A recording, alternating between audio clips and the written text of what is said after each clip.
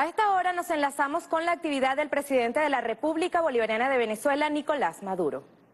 Iniciamos esta transmisión desde el Poliedro de Caracas, donde tendrá lugar la instalación del segundo Congreso de la clase obrera José Chino Camp. Acto presidido por el presidente constitucional de la República Bolivariana de Venezuela, Nicolás Maduro, con la presencia de 10.000 trabajadores en estos espacios, hombres y mujeres comprometidos con el desarrollo económico de la nación y sus 18 motores productivos.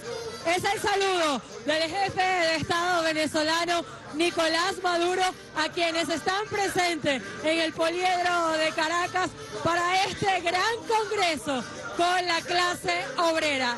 Es el presidente obrero diciendo una vez más presente con su pueblo. Este Congreso de la clase obrera se realizará en tres etapas. La primera hasta el 30 de abril para diseñar las propuestas del primero de mayo. La segunda rumbo al aniversario de la creación de los consejos productivos de trabajadores en agosto y la tercera en noviembre al cumplirse 11 años de la creación de la Central Bolivariana Socialista de los Trabajadores. Hay que mencionar que a pesar de las más de 500 medidas coercitivas unilaterales impuestas sobre Venezuela desde Estados Unidos, la clase obrera venezolana se mantiene en resistencia y elevando los niveles de producción. Han dicho, aquí nadie se rinde. Este Congreso se realizará bajo el lema Consolidar la patria bolivariana para construir el socialismo y se realiza en homenaje al luchador de la causa obrera José Chino Can. Hay grandes retos para la clase trabajadora como la puesta en marcha de las 3R.next en los espacios productivos. Resistir, renacer y revolucionar han sido las tareas del jefe de Estado venezolano. Lo acompaña el ministro del Poder Popular para el Proceso Social del Trabajo, José Ramón Rivero, el presidente de la Central Bolivariana Socialista de los Trabajadores, Luis Rangel, la vicepresidenta ejecutiva de la República, doctora Delcy Rodríguez, y el vicepresidente sectorial para el área económica, Tarek El Aizami, en este gran encuentro que permitirá diseñar las estrategias para la expansión de las fuerzas productivas en todo el territorio nacional. El presidente Nicolás Maduro ha sentenciado la clase obrera es la protagonista de la construcción del socialismo y de las grandes soluciones para el pueblo. Juntos vamos a enterrar al capitalismo salvaje y destructivo para darle paso a un nuevo modelo productivo, humanista, socialista y cristiano. Viva la clase obrera. Al tiempo que el jefe de Estado venezolano llamó a la clase obrera a renovar los consejos productivos de trabajadores y trabajadores. En el país hay más de 2.500 consejos productivos de trabajadores que están en cada empresa produciendo. Los CPT se han incrementado en 128%, lo que representa su instalación en 2.555 empresas del territorio nacional. También dentro de las instrucciones, el jefe de Estado venezolano ha pedido a la banca pública también todo el apoyo a los CPT, así como también consolidar estas grandes fuerzas productivas en la nación.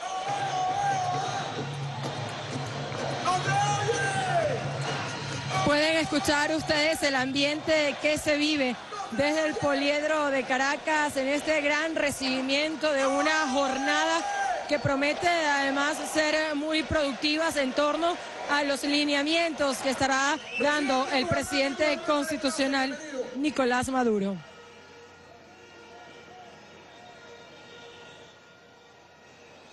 Hay que recordar quienes están presentes, los distintos eh, sindicatos, así como también la juventud revolucionaria, patriota y obrera.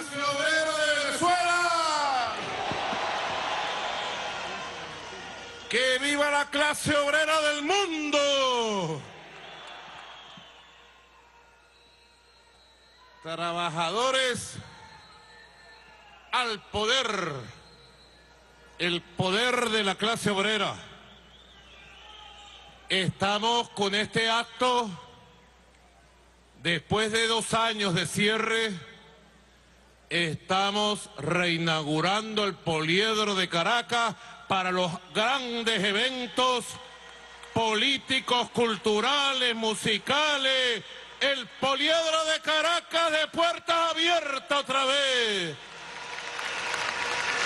Y lo reinaugura la clase obrera.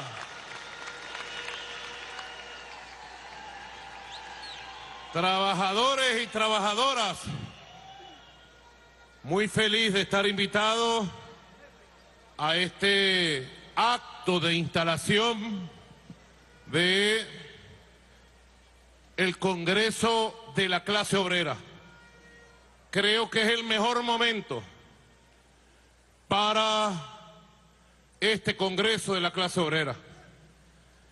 Un Congreso que venga a debatir los problemas y las soluciones de la economía, de la política, de la sociedad, del sindicalismo, del poder obrero, que venga a discutir y a trazar caminos para la construcción del socialismo bolivariano del siglo XXI, nuestro socialismo obrerista, cristiano, bolivariano, y más que nunca chavista. Les agradezco que me hayan invitado a este acto de instalación. De verdad me alegra mucho estar junto a ustedes, queridos hermanos de clase, porque si alguien me preguntara a qué clase perteneces tú, Maduro, yo diría orgullosamente desde mi corazón, yo pertenezco a la clase obrera de mi país, pertenezco a la clase obrera de mi patria, pertenezco a la clase obrera del mundo. Presidente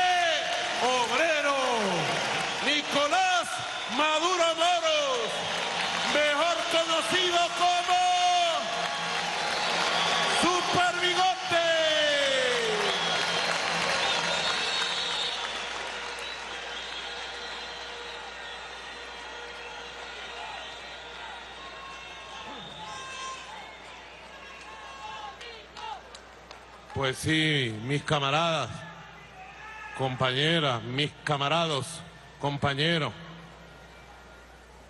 Clase obrera al poder, trabajadores al poder. Y sobre todo, este Congreso tan bonito que hoy se instala, que ha sido pensado como un homenaje a uno de nuestros grandes, a uno de nuestros gigantes de la clase obrera venezolana, a uno de nuestros hermanos que cambió de paisaje, cambió de paisaje, pero que está aquí hoy más vivo que nunca, el chino Khan, José Salamat Khan, nuestro hermano. ¡Que viva el chino Khan!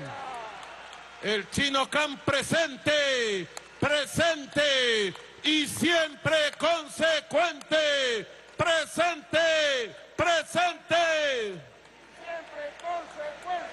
Aquí está su familia, su hija, Cherezade. Mi saludo a toda su familia. José Salamat Khan, constructor de poder obrero, constructor de sindicalismo clasista. José Salamat Khan, el hombre de la alegría perpetua, de la crítica ácida y profunda y del trabajo sin descanso, el hombre que protegía al pueblo. El chino Khan juntos nos dimos a la tarea de construir el Frente Constituyente de Trabajadores en el año 98, 99.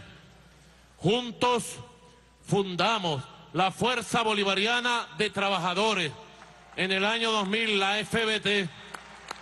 Juntos transitamos los caminos de la lucha por los derechos constitucionales y legales de la clase obrera. Juntos estuvimos a nuestro comandante Chávez de manera leal y combativa, siempre al lado de Chávez, siempre, con amor, con nuestro hermano Aristóbulo Isturi. Vamos a darle un aplauso al espíritu inmortal de Aristóbulo Isturi, también líder de los maestros, líder de la clase obrera. Queridos hermanos, que han cambiado de paisaje, pero que están aquí, están aquí en esta mesa sentados con nosotros. Yo lo siento, ellos están aquí, el chino Can y Aristóbulo a mi lado, diciéndome, Nicolás, pa'lante, compadre, que desde este mundo te apoyamos. Tengo el apoyo de los dos mundos, del mundo de los humanos y del mundo de los espíritus.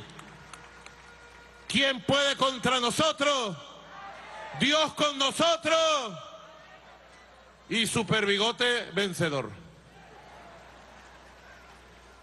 Bueno, quiero saludar también a los embajadores de Cuba, la embajadora de Nicaragua, que puedo divisar con las máscaras.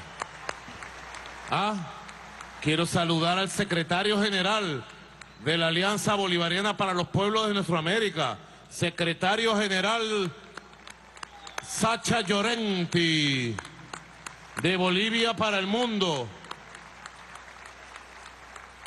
Quiero saludar a dos hermanos también de la clase obrera, constructores y que hoy son gobernadores.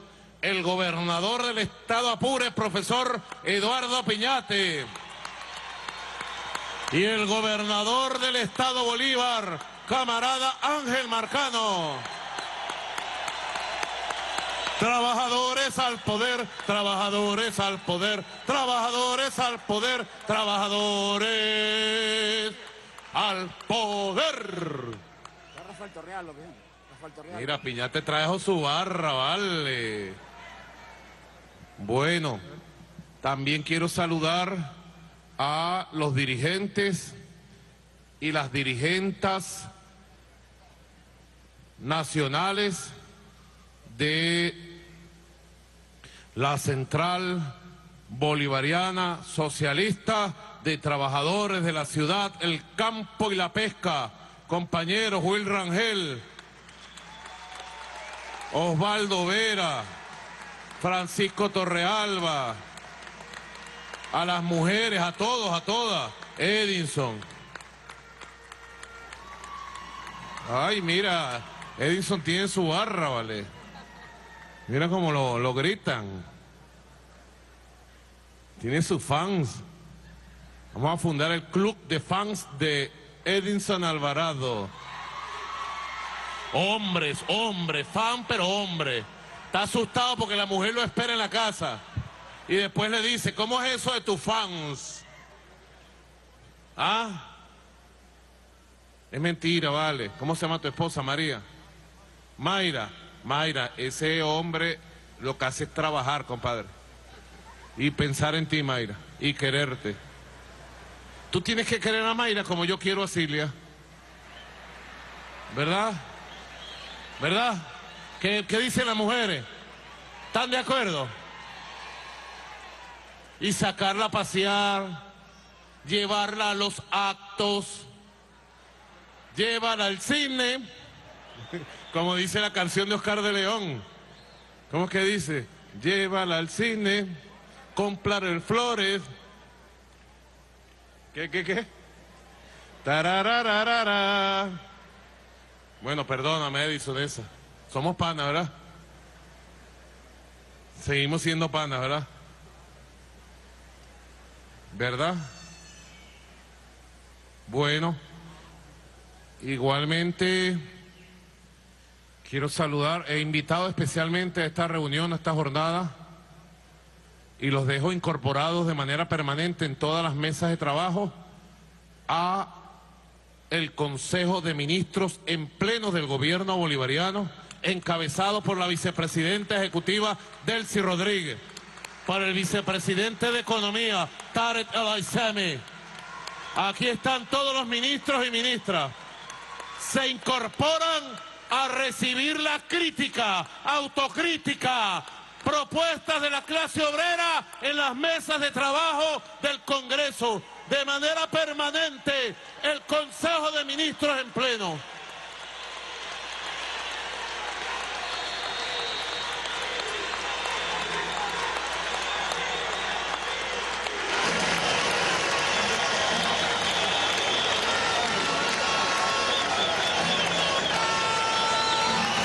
Se incorporan a las mesas. Está también el compañero ministro del Proceso Social del Trabajo, José Ramón Rivero, jefe del trotskismo internacional.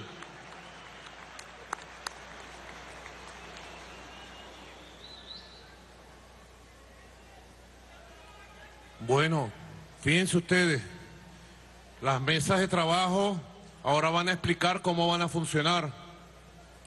Si ustedes necesitan interrogar, interpelar a cualquier ministro o ministra, está a la orden de las mesas de trabajo de la clase obrera para que los ministros le den respuesta a los trabajadores, a las trabajadoras de todos los temas pendientes. Escuchen la crítica ácida y profunda de la clase obrera de la patria. Democracia directa, democracia obrera, democracia socialista.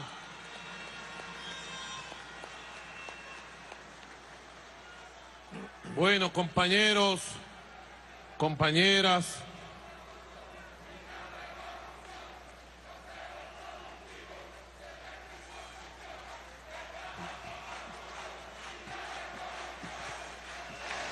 se me había olvidado saludar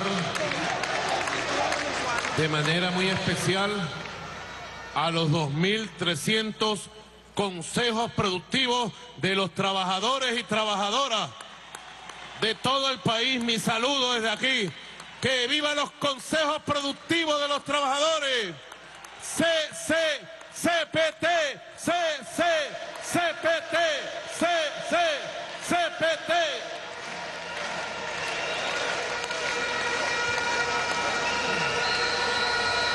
Que vivan también. Parece un juego de pelota, ¿verdad? Con ese sonido al fondo. Bueno, compañeros, compañeras, en un mundo tan, con- tan convulso como el que tenemos, nosotros tenemos que apretar la marcha. Es una oportunidad de oro que tiene la clase obrera venezolana de construir el socialismo productivo, el socialismo desde el puesto de trabajo, desde la fábrica, desde el centro de labor, desde el campo, desde la ciudad, desde los mares, desde los ríos, el socialismo económico productivo, una de las dimensiones del socialismo bolivariano. Construirlo, construirlo y construirlo.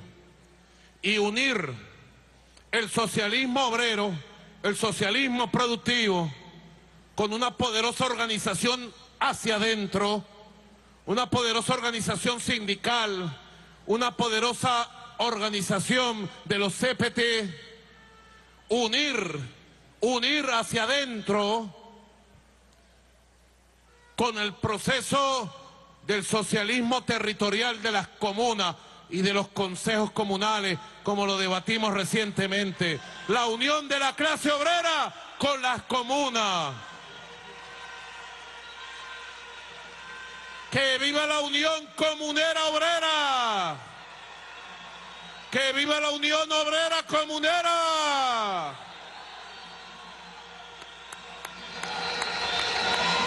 Clase obrera y comunas.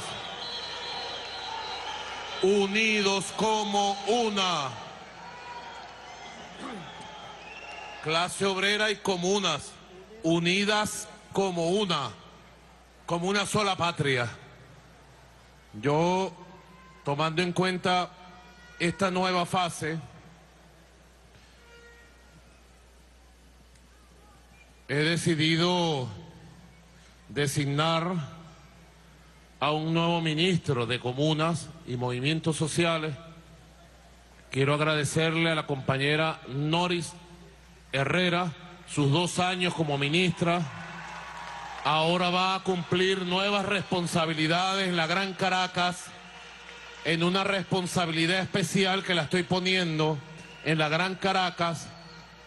Hizo una labor tremenda para definir con claridad toda la función de los consejos comunales, de las comunas, para motivar y le he pedido la pelota para que vaya a otras funciones y he decidido designar a un compañero de una gran experiencia, de un gran compromiso con la clase obrera, pero sobre todo de un gran compromiso con el poder popular.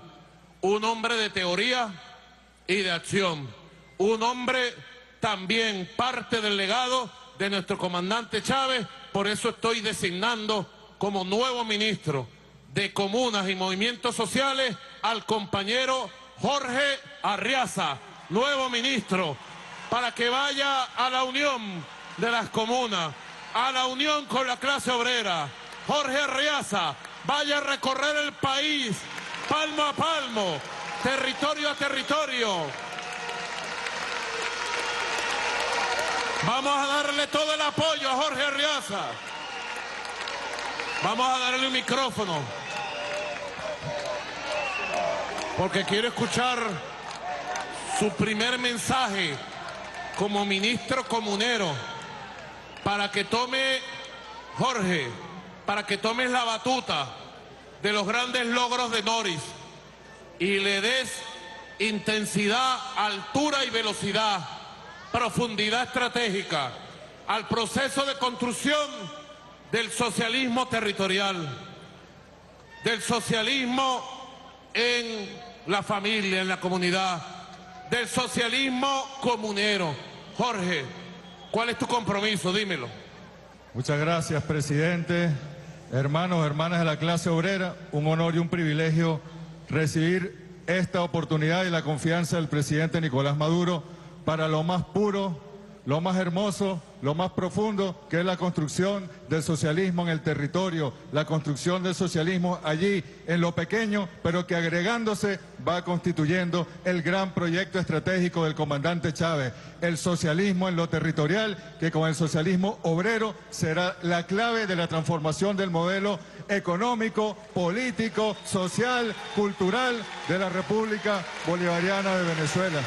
Le agradezco mucho, presidente la confianza. Cuenten todas las comunas, consejos comunales, más de 40 mil consejos comunales, más de 4 mil comunas, cuenten con todo el compromiso del presidente Maduro, del gobierno bolivariano y nuestro compromiso para seguir fortaleciendo. Hay que reconocer, presidente, la capacidad y la resistencia que han tenido desde las bases, tanto los comuneros, las comuneras, los movimientos sociales como la clase obrera, los consejos productivos de trabajadores y trabajadoras que en años tan difíciles de tanta agresión han mantenido su moral, han mantenido su trabajo, su entrega y no se han debilitado ni, se, ni han declinado ante la agresión imperialista. Vamos a construir el socialismo bolivariano y chavista desde el territorio, desde la fábrica, juntos y juntas. Muchas gracias, querido compatriota presidente. Bueno, muchas gracias. Vamos.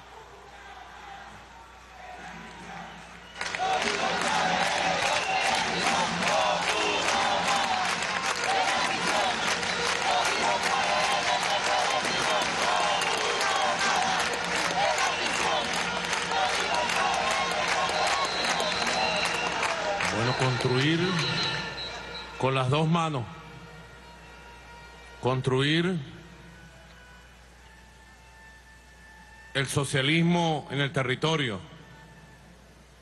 Es el gran aporte, Jacobo, tú que te la das de teórico marxista, vacunista. Yo cuando se- conocí a Jacobo por allá, teníamos 12 años, él era seguidor de Bakunin. ¿Y de quién? Y de Malatesta. Ahora poco a poco lo fuimos reeducando y ya está en la línea, pues. ¿Ah? Ahora es maoísta. Está en la línea, pues. Es muy importante el aporte que hizo el comandante Chávez a la construcción del socialismo universal. Compañero embajador de Cuba, República Socialista de Cuba, compañera embajadora de Nicaragua, Nicaragua siempre bendita, cristiana y socialista. Compañero secretario general de la Organización de Estados del ALBA, OEA, Organización de Estados del ALBA, un nuevo secretario general de la OEA, Sacha Llorente.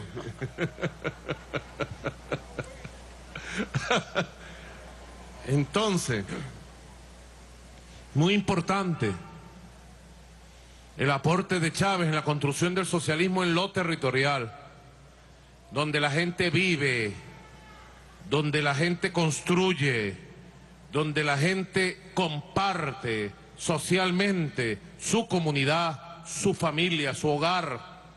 Allí construir el socialismo. Y eso tiene sus reglas de juego, tiene su temática, tiene su liderazgo, tiene su encanto, tiene su magia. Y está el espacio de la construcción del socialismo en lo económico, del socialismo obrero, en la fábrica, en el campo, en la ciudad, uniéndose a dos fuerzas, Arriaza, Rivero, Delcy, Taret. Nos hacemos invencibles y le demostramos al mundo que el futuro de la humanidad, para que sea un futuro grande y de paz, tiene que ser el futuro socialista de la humanidad, el futuro del siglo XXI y de los siglos por venir, el socialismo. Y que sí es posible construir una sociedad diferente. Mira los motorizados, los mototaxis, mira, los trabajadores de delivery, mira, con su casco de motorizado. ¡Que vivan los motorizados de Venezuela! ¡Que vivan los mototaxistas! ¡Que vivan los trabajadores a domicilio!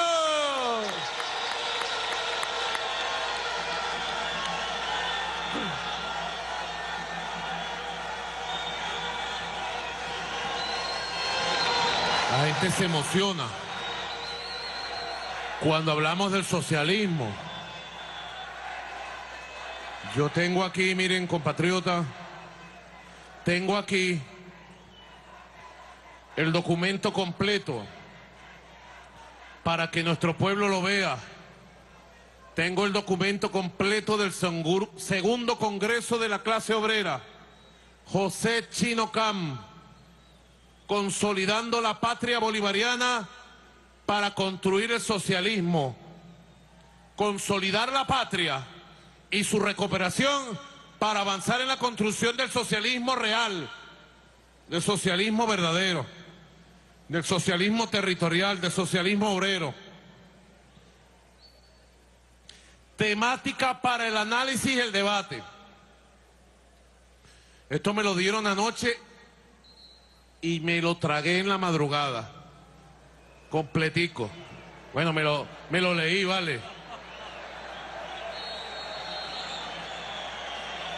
Con ustedes no se puede trabajar en serio, vale. Así me voy. Un chinazo, está bien.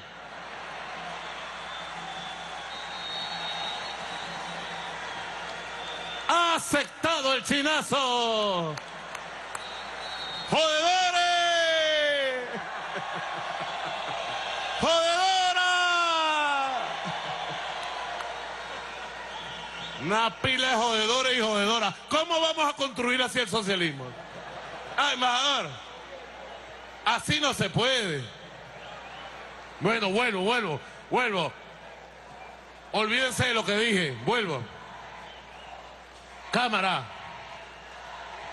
Aquí está este documento que plantea las tres R.net como eje de la nueva época de transición al socialismo. Y me lo leí completico. Así sí. Me lo leí, me lo estudié.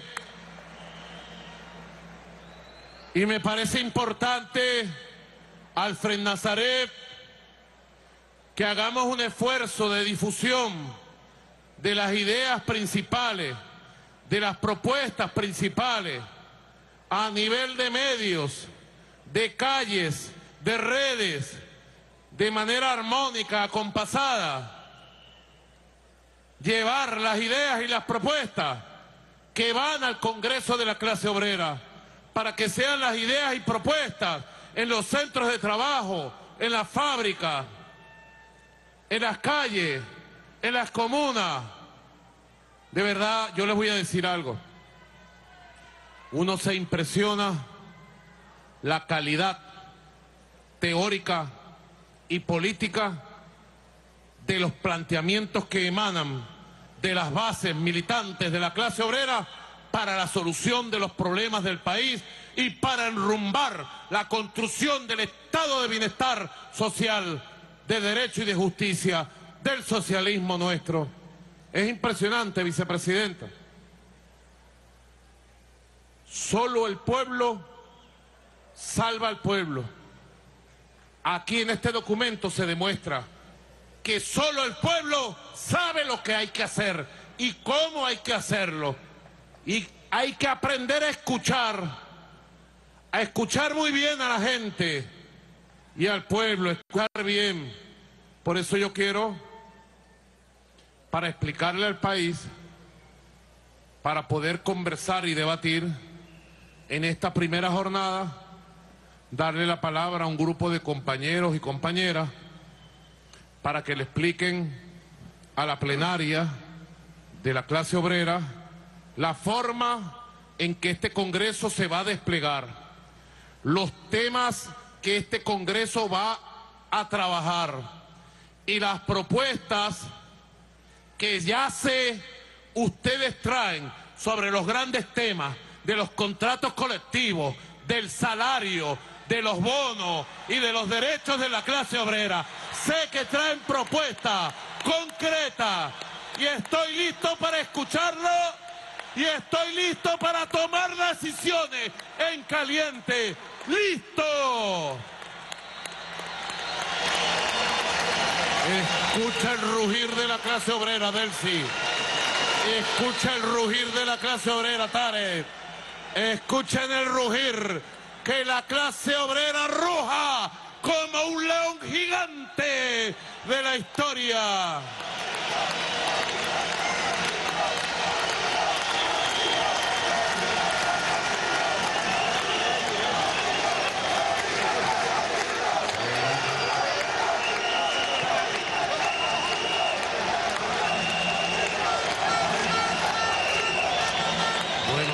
Compañeros, mi compañera, mis queridos amigos, amigas, camaradas, camarados, camaradísimos. Déjame ver si se me olvidó saludar a alguno de los invitados. Ah, yo sí estaba viendo, ¿ves? Estaba viendo a alguien que me parecía conocido por el tapaboca. No, El osobuco. no podía identificarlo. Claro, mi hija, los jubilados, las jubiladas, los pensionados y pensionadas están en mi mente, están en las propuestas y estoy listo a tomar decisiones, listo para tomar decisiones en caliente. Claro que sí, mi hija. Claro que sí. Estaba saludando Y quiero que le demos un gran aplauso al compañero Ulises Gilarte, secretario general de la Central de Trabajadores de Cuba. Y a Rosario Rodríguez, secretaria internacional de la CTC.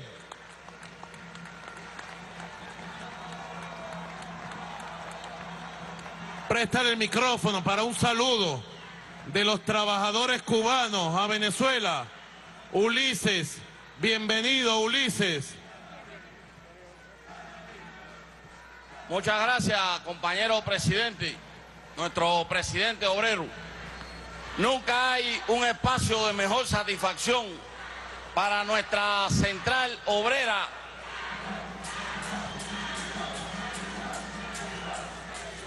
Decía que no hay un mejor espacio para encontrarnos los revolucionarios que un congreso de la clase obrera.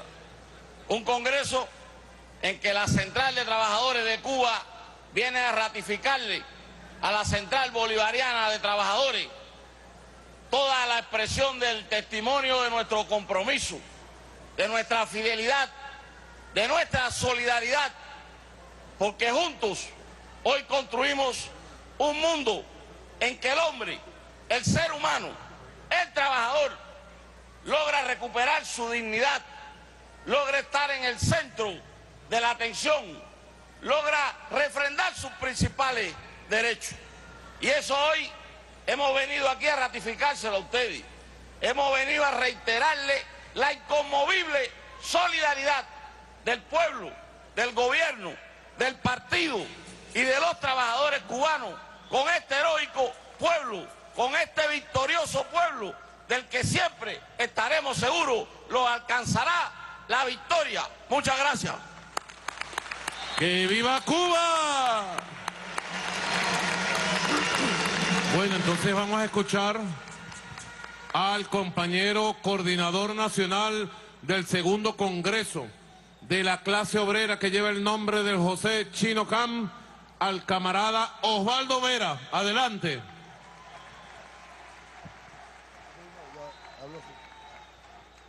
Gracias, presidente. Voy a hablar así de, de lado para no darle la Ponte, espalda. la- ponte de ladito, pues. Para que hable, Ah, que, para que hable. la clase, la clase obrera jodedora. Bueno, ponte como te dé la gana, pues.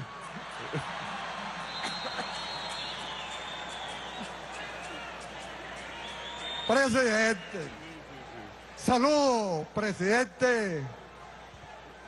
Echador de broma. ¡Joder! llamarlo una madera. Saludos a la vicepresidenta, a nuestro presidente de la Central, ministro del Trabajo, los invitados internacionales, nuestros gobernadores obreros, Eduardo Piñate y Ángel Marcano. Y un saludo a nuestro alcalde de allá del municipio Paez, del Estado portuguesa, Rafael Torrealba. Presidente, nos planteamos este Congreso.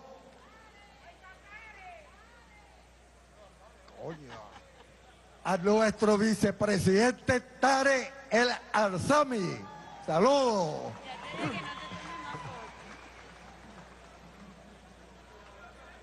Nos montamos en este Congreso a raíz de la intervención que usted venía realizando con relación al cambio de época.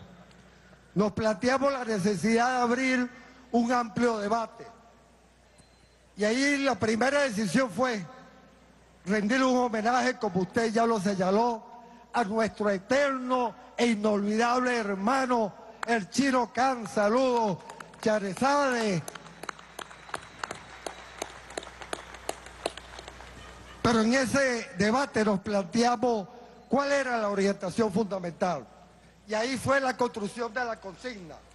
Consolidar la patria, consolidando la patria para construir el socialismo. Nos trazamos un objetivo claro, nos trazamos un objetivo claro. Ponte el paral. Coloca el paral. No se vayan a reír también porque diga eso. Habla con el micrófono en el paral, no en la mano. Está bien, tranquilo. ¿Está bien así? ¿No es chinazo?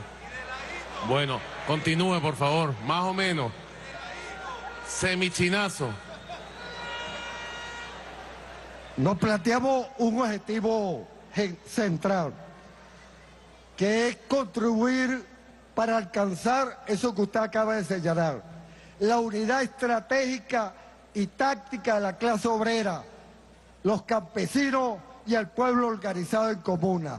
Por eso, uno de los elementos fundamentales dentro de este Congreso es alcanzar lo que hemos llamado el Estado obrero, campesino y comunal. Con ese norte, con esa orientación, hemos discutido y hemos evaluado una serie de objetivos.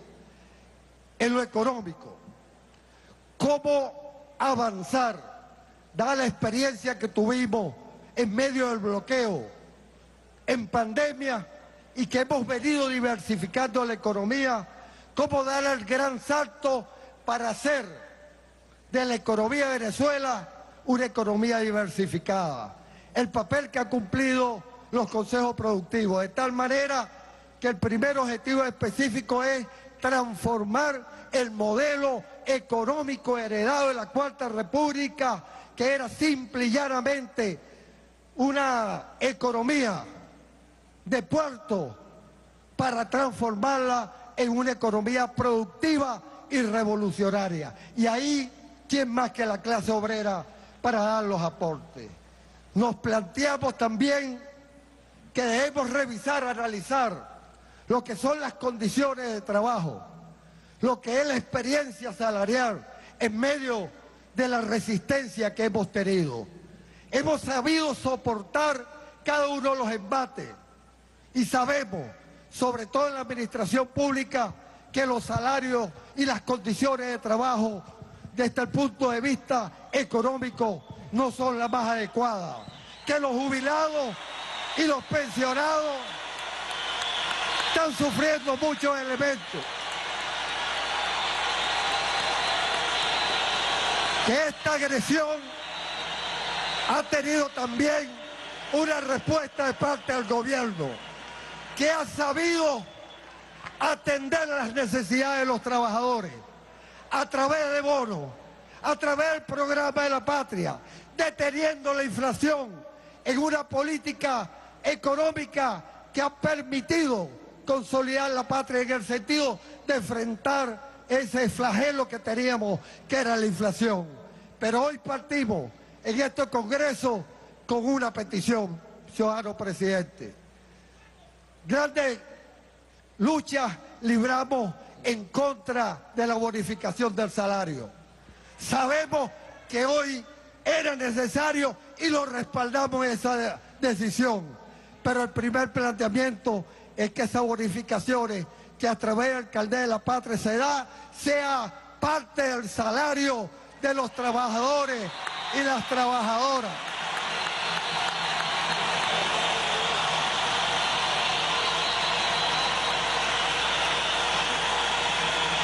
y una experiencia que tuvimos, que usted la tomó en un momento determinado, que fue llevar el salario mínimo, las pensiones y las jubilaciones a medio petro.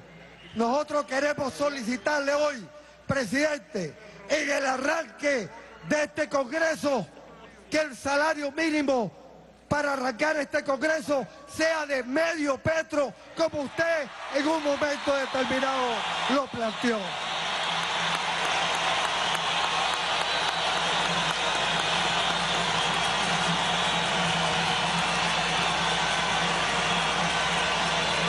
Pero el Congreso no solamente vemos el salario y los elementos, es la política social, de salud, de vivienda. También otro objetivos de este Congreso es la, es la Unión Latinoamericana.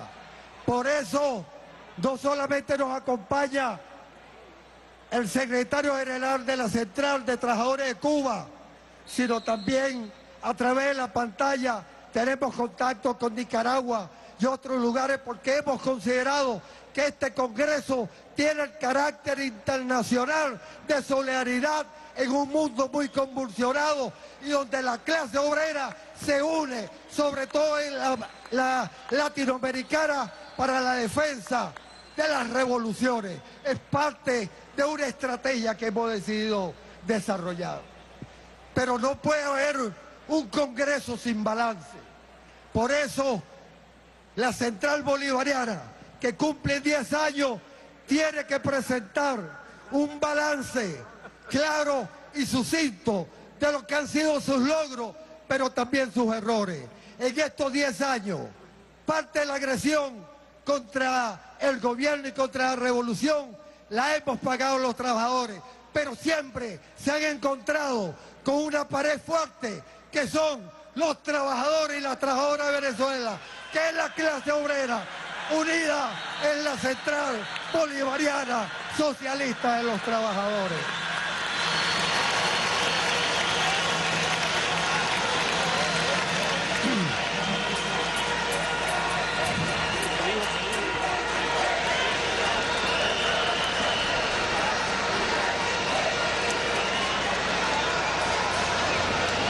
Por supuesto, en esta revisión hemos acordado adaptar las organizaciones sindicales, los CPT y la otra forma de organización para podernos adaptar al momento que estamos viviendo.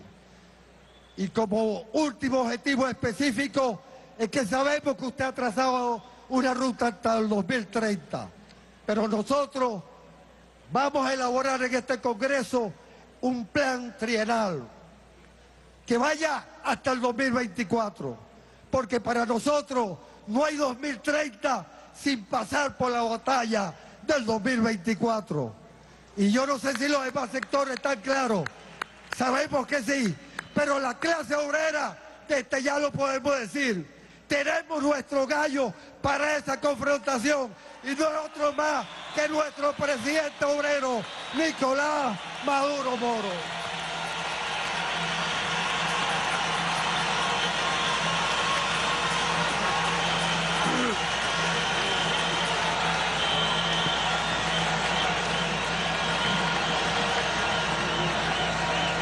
Hemos planteado este Congreso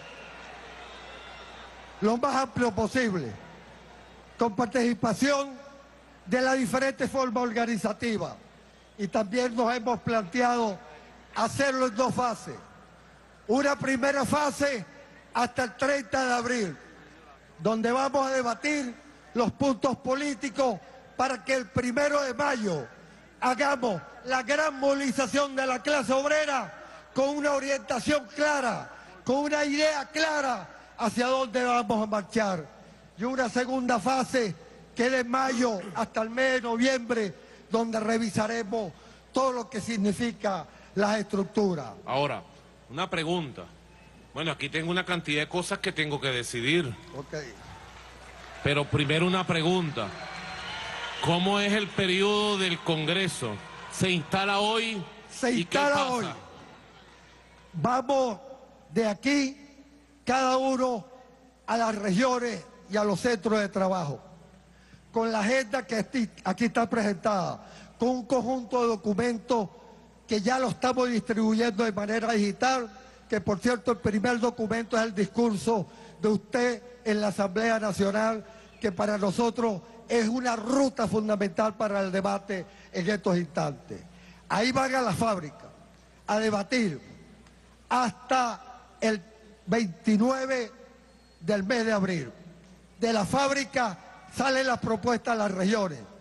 De las regiones y los sectores llega la propuesta nacional para que el 30 de abril acordemos en una primera fase la definición política clara de cuál es el rumbo que la clase obrera asume en este periodo de transformación que usted ha señalado. Continuamos el debate, pero también vamos a avanzar de mayo hasta noviembre en lo que es la organización. la estructura, la renovación incluso que es necesaria y que nos hemos planteado como una meta. Muchos sindicatos ya están vencidos, otros ni siquiera tienen dirigentes, muchos tienen mucho tiempo.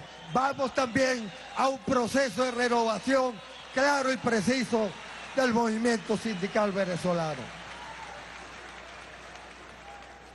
Por eso nuestra agenda es clara. El debate sobre el socialismo y toda la materia económica, la construcción del socialismo, pero también el debate sobre el Estado, un Estado que sigue siendo lento en la respuesta. Y parte del debate de la clase obrera es como dar el salto en la transformación del Estado, el balance de los 10 años, el rescate de las condiciones laborales, el desarrollo de la defensa de los trabajadores que a veces se cierra una fábrica y son echados a la calle, o la utilización a veces de fuerzas públicas para atacar al movimiento sindical. Nos planteamos la unidad latinoamericana en las alianzas internacionales que tenemos y una propuesta que estamos manejando de la posibilidad de consolidar ese sueño de nuestro presidente Chávez que usted impulsó, que es la creación del ALBA obrero, como fue señalado en un momento determinado. Pero también vamos al debate de la defensa de la patria, que sigue siendo acechada. Otro tema que nos hemos propuesto, ahora que está el Congreso del partido, es analizar la vicepresidencia y el partido.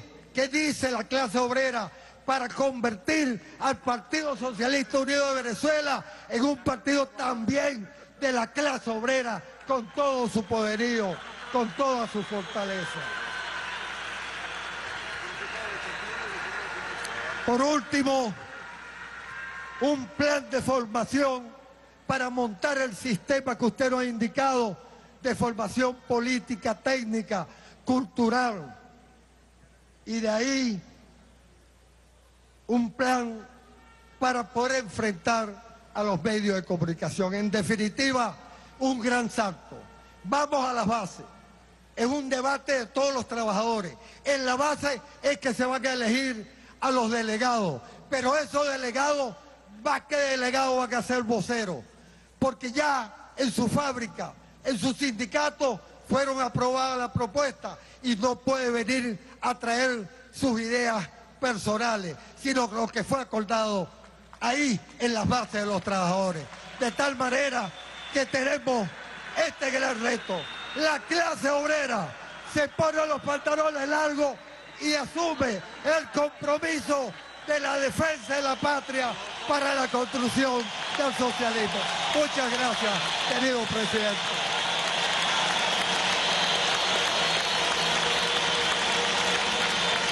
Muy bien, compañero.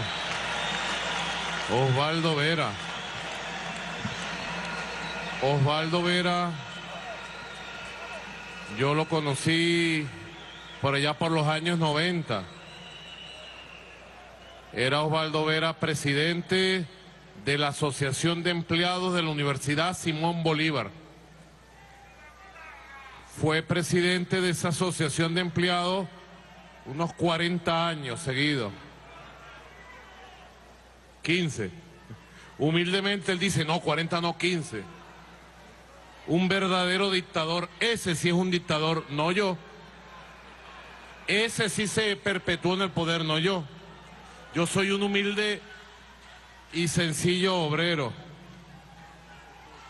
Bueno, vamos, ya que están tan animados, vamos a hacer una, una ola. Empezando desde aquí una ola. ¿Están de acuerdo? A la cuenta de tres. Otra, otra ola cuando yo cuente tres. Empezando de aquí. Camarógrafo, ponte las pilas.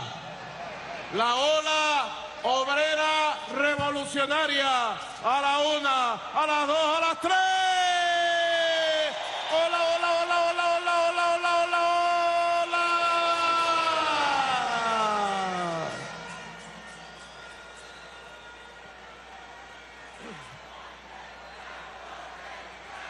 transporte, salud, empresas básicas, petróleo, educación, industria, automotriz, motorizado,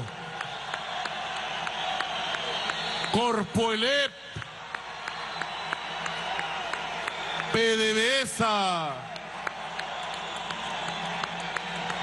Alcázar,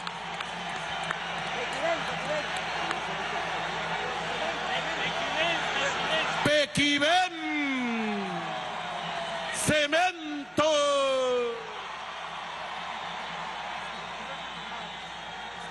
Tremenda disciplina la gente de Cemento. Tremenda disciplina. Los mesoneros. La juventud. La juventud. Juventud petrolera.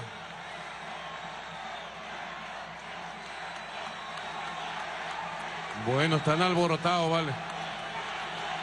Están emocionados. Metro de Caracas. Ferrocarriles.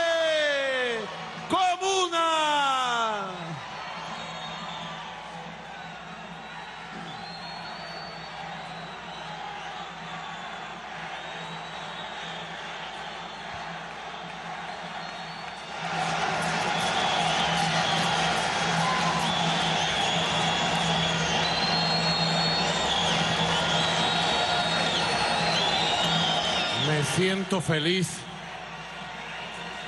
Me siento como pez en el agua cuando estoy con mis hermanos y hermanas de la clase obrera en esta embullición de pasión patria, de pasión socialista, de pasión obrera. Estoy como pez en el agua cuando estoy entre los trabajadores y las trabajadoras. Me siento contento.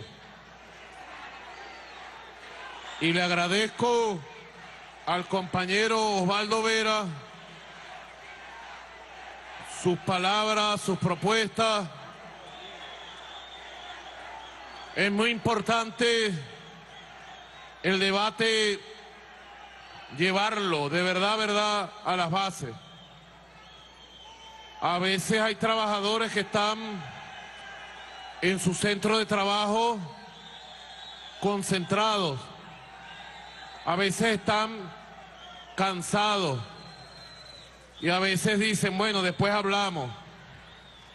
Hay que aprender a motivar a los trabajadores y trabajadoras. Visitar todas las áreas de trabajo. Hablar con todos los grupos. Orientar muy bien. Orientar con la verdad. Con la verdad y decirle al trabajador y a la trabajadora que nadie puede asumir una posición de desánimo, que todos tenemos que estar alertas a la defensa de nuestro trabajo de la economía nacional a la defensa de nuestra patria. Fíjense ustedes los temas que me dieron a mí y que ha explicado en parte Osvaldo Vera, yo quiero reiterarlo. Los temas que ustedes van a llevar no son fáciles, pero hay que llevarlos y confiar en la conciencia y en la capacidad de entendimiento de la clase obrera ahí en el centro de trabajo, ahí donde la gente está trabajando y a veces está cansada y dice, coño, déjame quieto un ratico, vale, ya va. Después hablamos. Bueno, después hablamos. Pero después hablamos de verdad. Aquí están los temas, fíjense ustedes. El capitalismo mundial y su crisis imperialista. La creciente crisis del hegemón norteamericano. La construcción del socialismo, la crisis de la guerra económica contra el salario, el desafío mundial de la clase obrera, el partido y la dirección revolucionaria, el reto de la formación para la clase obrera, la clase obrera y la defensa integral de la patria, las milicias obreras, fusiles y misiles para la clase obrera, para defender la patria, fusiles y misiles para la clase obrera. Ustedes están de acuerdo en organizar la milicia obrera, ¿verdad? Y están organizados en milicia obrera. Y tienen sus fusiles y sus misiles. Más nada, pues. La clase obrera y la comunicación. Todo esto en el marco de lo que hemos nosotros enfrentado. Y siempre es importante tenerlo presente. Y yo sé que los trabajadores y trabajadoras en la base saben lo que nos han hecho. Si la clase obrera no tuviera conciencia, aunque algunos pudieran estar molestos o insatisfechos, y tienen razón, si la clase obrera no entendiera que las sanciones criminales, el bloqueo criminal, el ataque al petróleo, nos llevó a una etapa de guerra económica nunca antes vista. Y Venezuela perdió el 99% de sus ingresos. Si antes ingresaban 4 mil, 5 mil millones de dólares mensuales, dejó de ingresar eso y si acaso ingresaban 100 millones de dólares.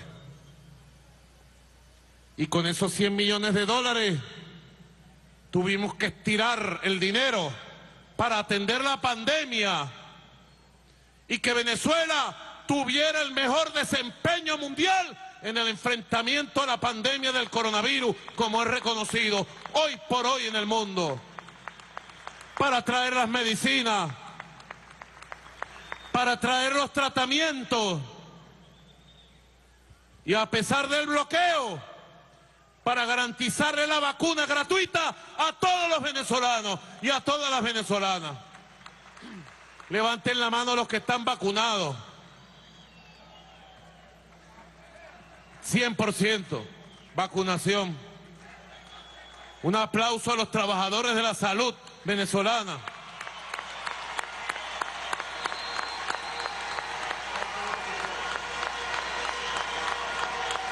Un aplauso a los trabajadores del Seguro Social también. Trajeron una pancarta con Darío Viva.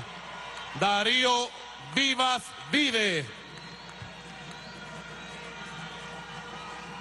Se alborotan demasiado, ¿verdad? Bueno, fíjense ustedes.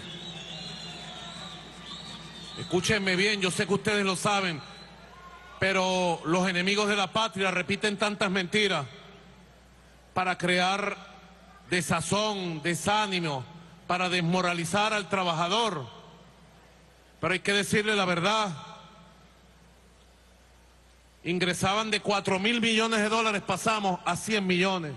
Y con esos 100 millones tuvimos que cubrir la salud.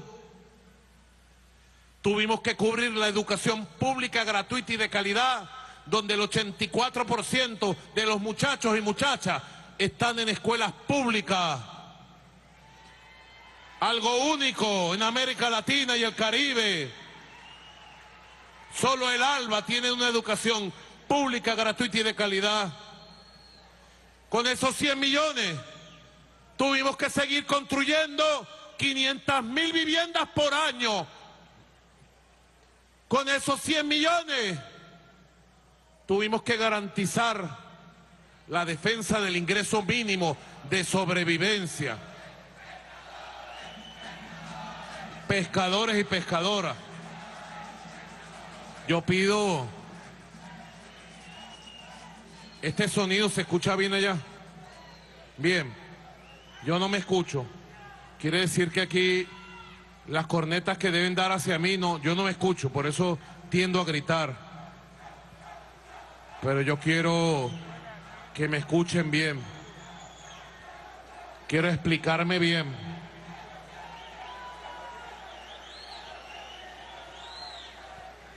¿Ustedes quieren que yo responda a las propuestas de Osvaldo Vera?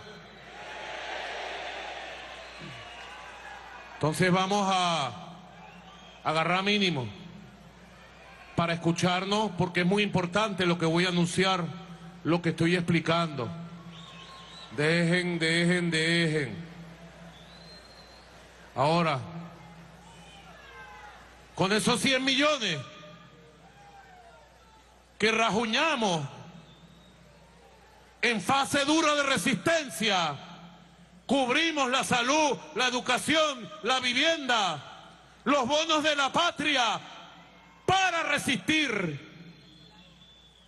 Cubrimos los 7 millones de hogares con los CLAP para llevar el alimento al pueblo.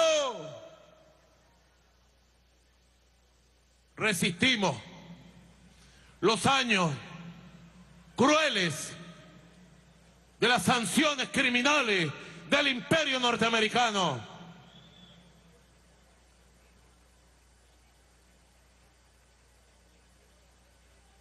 Y la verdad verdadera es que fuimos sobreviviendo en el ingreso por la vía de los bonos. Pero todo eso es sustentado con el ingreso nacional. Hemos venido recuperando la economía. El año 2021 es el primer año de crecimiento económico real, de la economía real.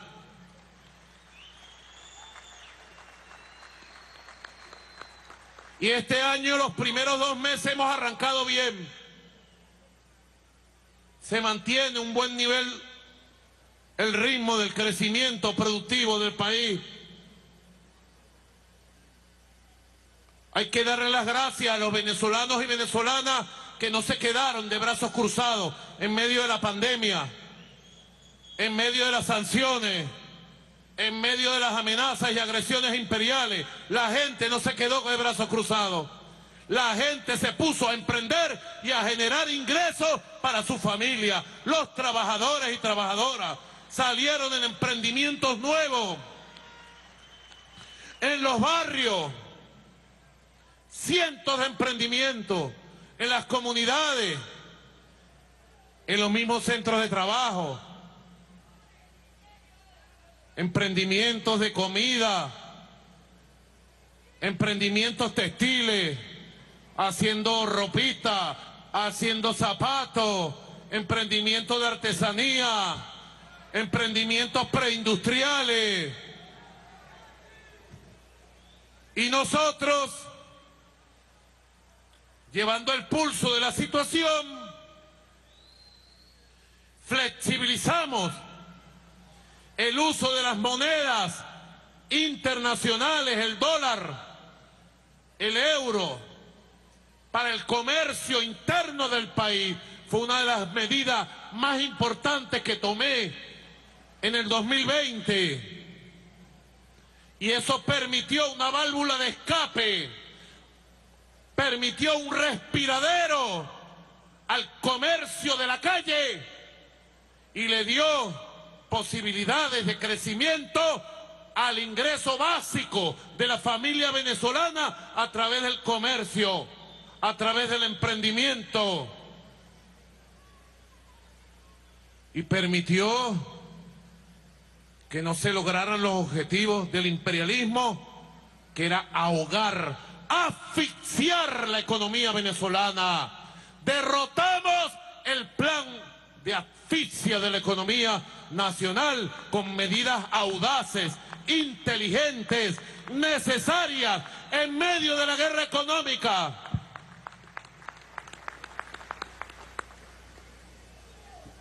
Fíjense ustedes, ahora con la guerra de Ucrania se entiende más fácil. A Rusia le están haciendo todo lo que nos hicieron a nosotros.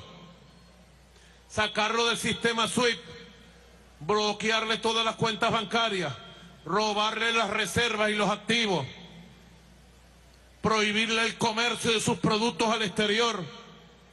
Rusia es una superpotencia, cien veces más grande que Venezuela. Tiene un sistema financiero fuerte. Ellos dijeron en el imperialismo, a Venezuela le hacemos esto, esto y esto y listo. La conquistamos, la colonizamos. Venezuela es nuestra. Venezuela es nuestra. Ja, olvídate imperio. Jamás Venezuela será colonia gringa bajo ningún aspecto ni circunstancia. Jamás. Hemos resistido y seguiremos batallando.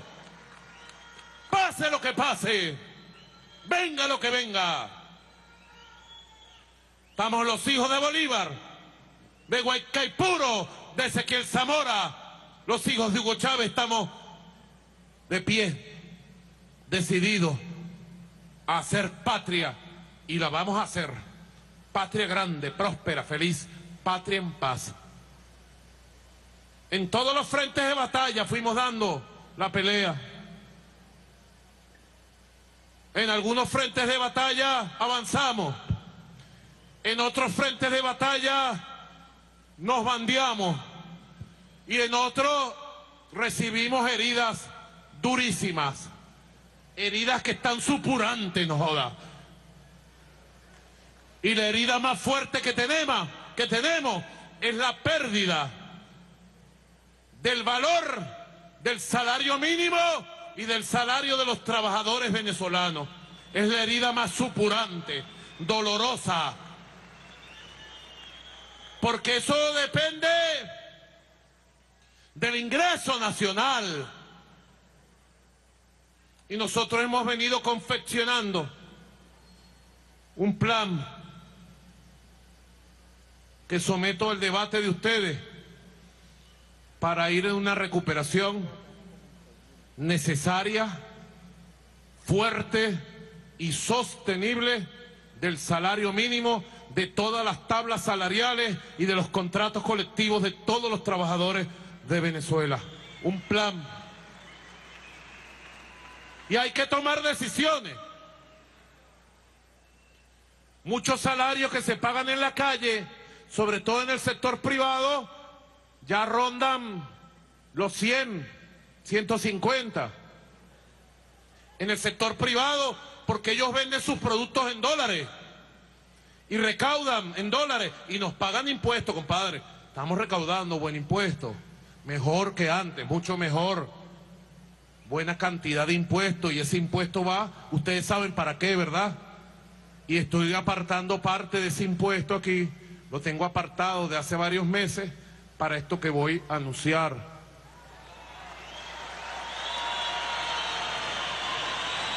¿Por qué ustedes aplauden si yo no he anunciado nada? Déjame echarme una peinadita, vale, para el anuncio. Hay que estar bien peinado. Ahora, hay que entender qué ha pasado. Hemos enfrentado mil demonios. La hiperinflación inducida la vamos bajando. El ataque a la moneda lo vamos controlando. El crecimiento económico lo hemos logrado con pulmón propio. Porque es el crecimiento de la economía real, no es el crecimiento de la economía ficticia que antes se decía. El crecimiento de los papeles o de números falsos, aquí no, aquí es el crecimiento de la producción de alimentos, de la producción petrolera, de la producción de gasolina, de la producción de petroquímica, de la producción de textiles, de la producción industrial, de los pequeños y medianos industriales. Ulises es la economía real, la que produce bienes y servicios para la gente. Es la economía real. no la economía de los números, de la especulación bancaria o de la especulación de las bolsas o de los papeles que pueden engañar, malandro Pérez. Te veo como achicopalao. Saca el pecho, vale. Mete la barriga. Operado. ¿Estás operado? ¿De qué?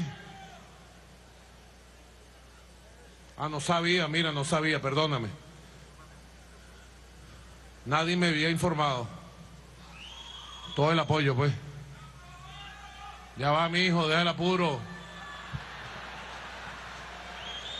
Que yo quiero que Piñate, tú que eres gobernador, fuiste ministro, dirigente obrero, dirigente magisterial, como Aristóbulo. Fíjense ustedes, hemos, nos hemos defendido.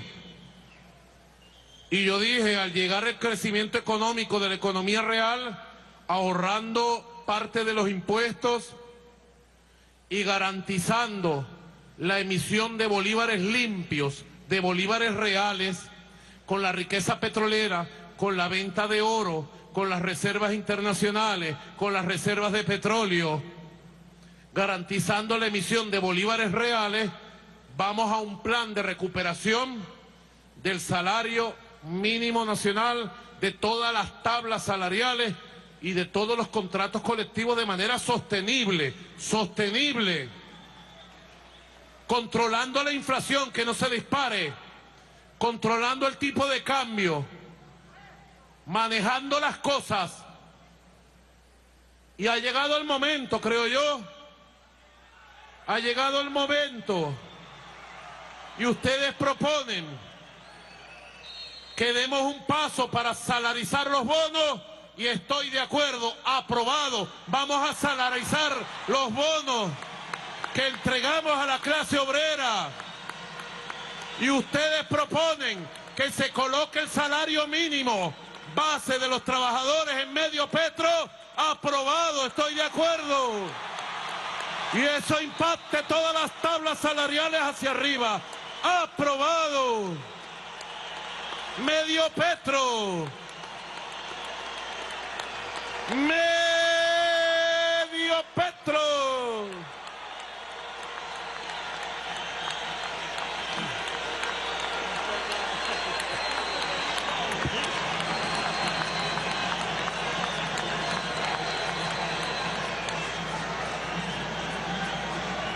Ahora, tenemos el pulmón para aguantar esto ahora. Lo tenemos.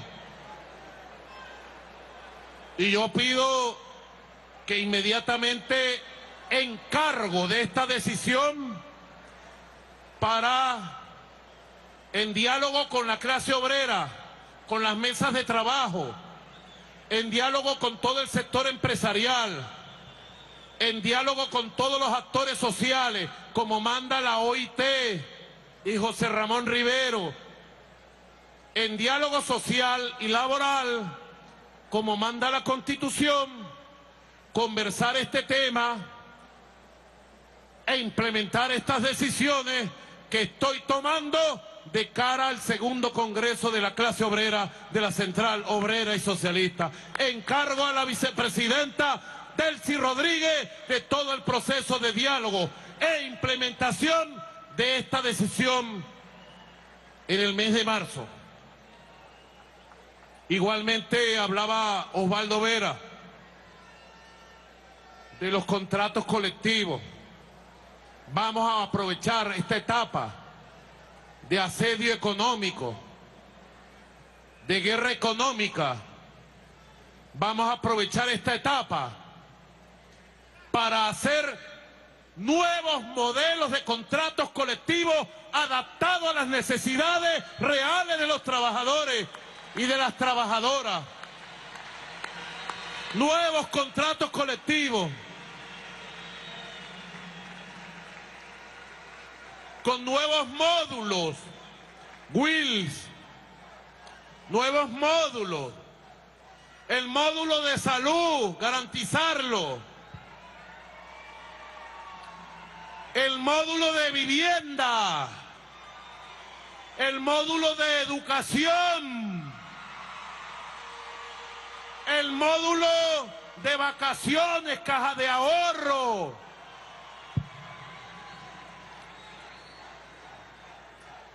Bueno, como ustedes saben, esta decisión que he tomado también alcanza medio petro a los pensionados y pensionadas de Venezuela, a todos los hermanos y hermanas, colegas, amigos y amigas, pensionados y pensionadas.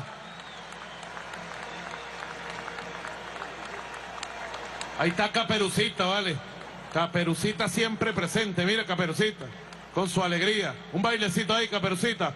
Taca, taca, taca, taca, taca, ta, taca, taca, taca, taca, taca, ta.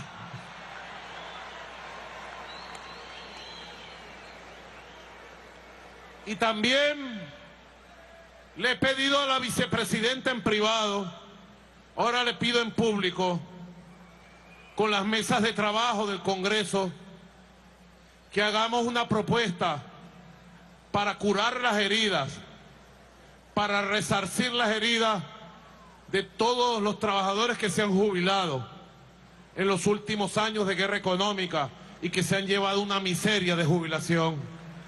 Yo quiero un plan para proteger y resarcir económicamente a todos los jubilados de cinco años para acá, de los últimos cinco años, a todos los jubilados y jubiladas, un plan especial para resarcirlos.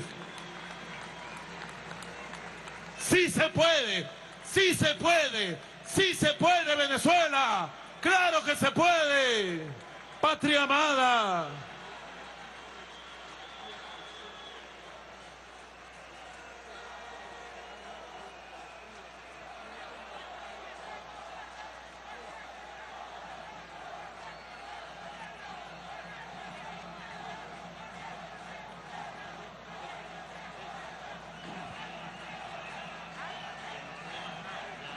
También me recordaba la vicepresidenta el tema del cestatique. Bueno, incluyanlo ahí. Hay una propuesta para aumentar el cestatique a 45 bolívares. Me parece que para arrancar en la recuperación suma. Todo lo que suma ayuda. Todo lo que ayuda suma. Todo lo que suma ayuda todo lo que ayuda suma.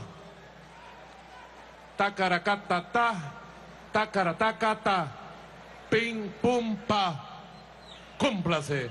Son temas vitales de la clase obrera, ¿se dan cuenta?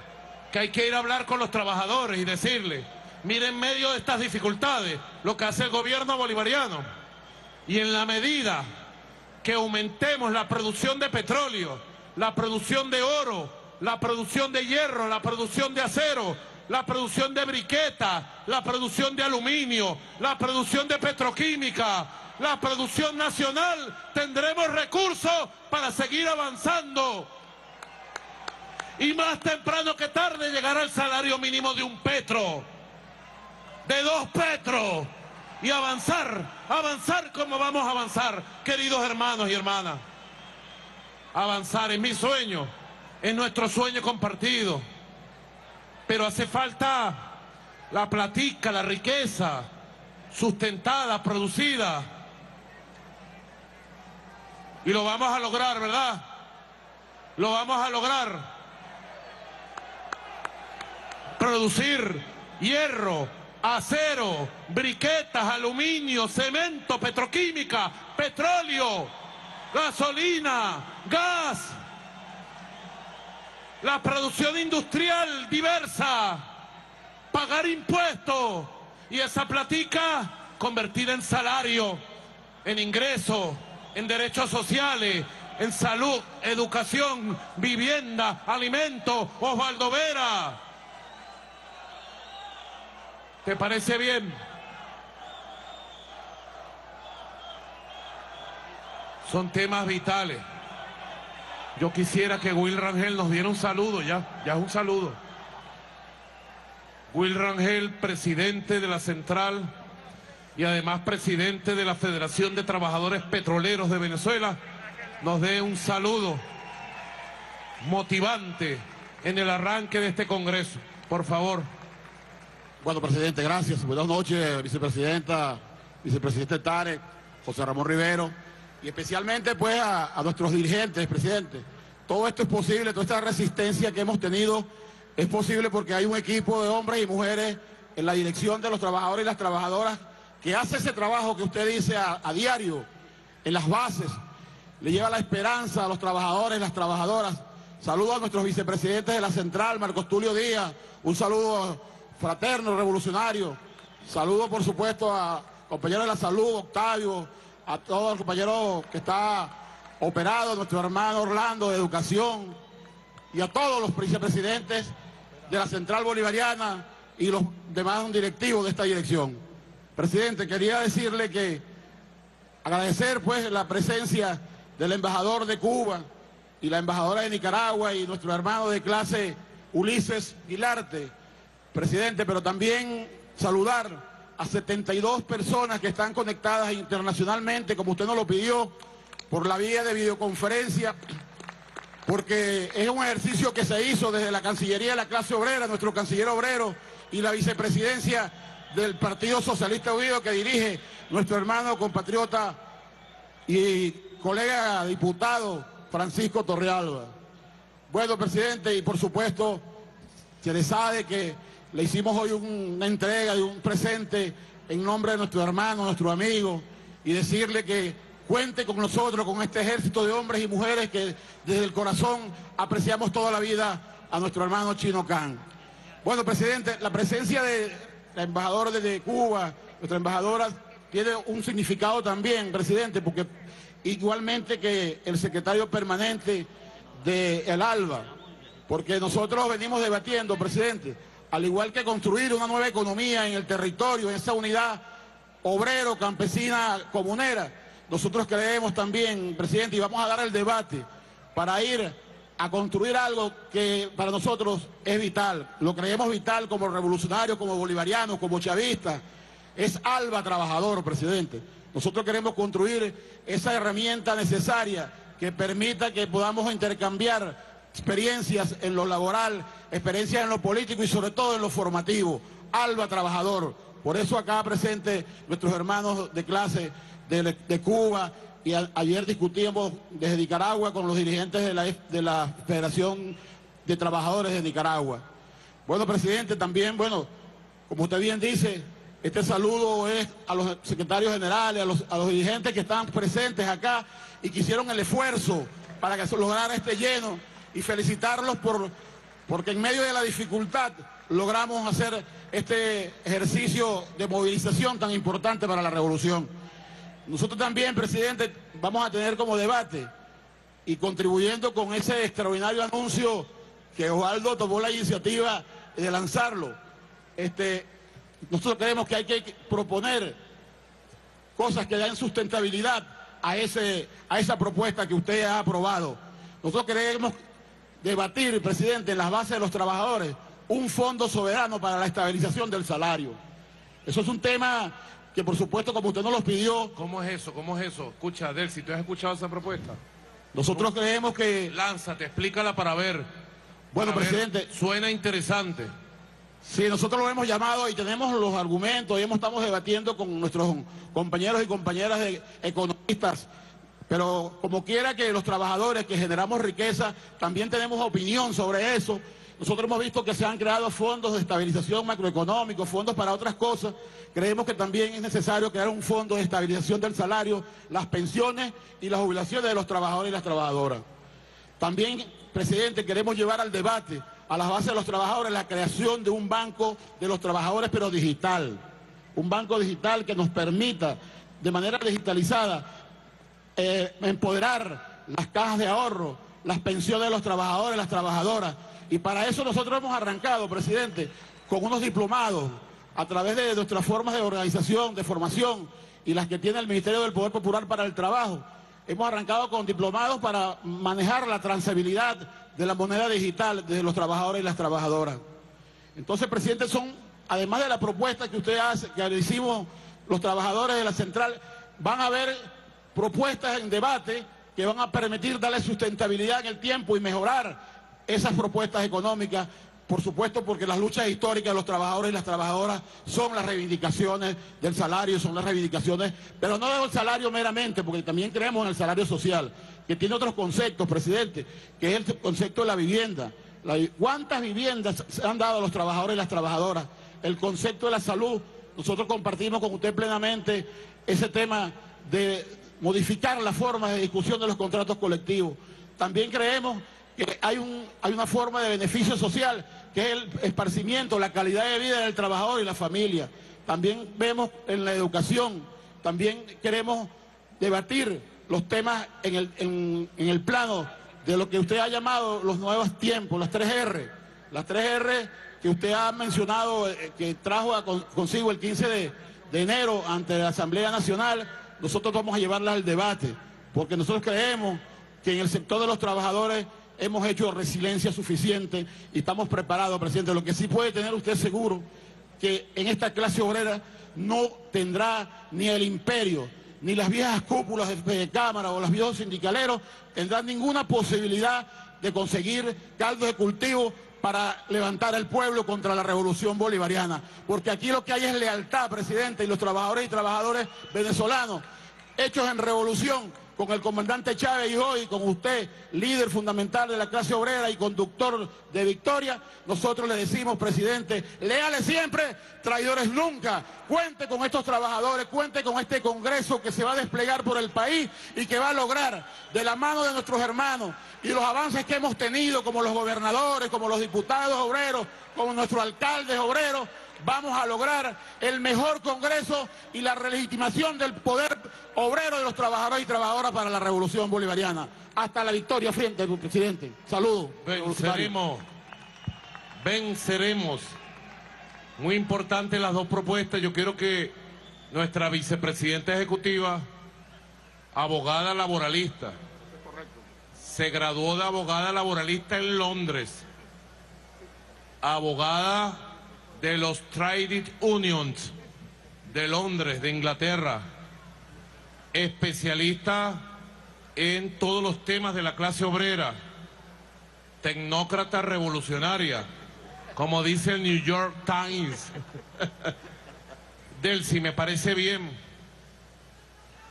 la idea del fondo soberano para el salario, que a la vez la verdad verdadera es lo que estamos haciendo.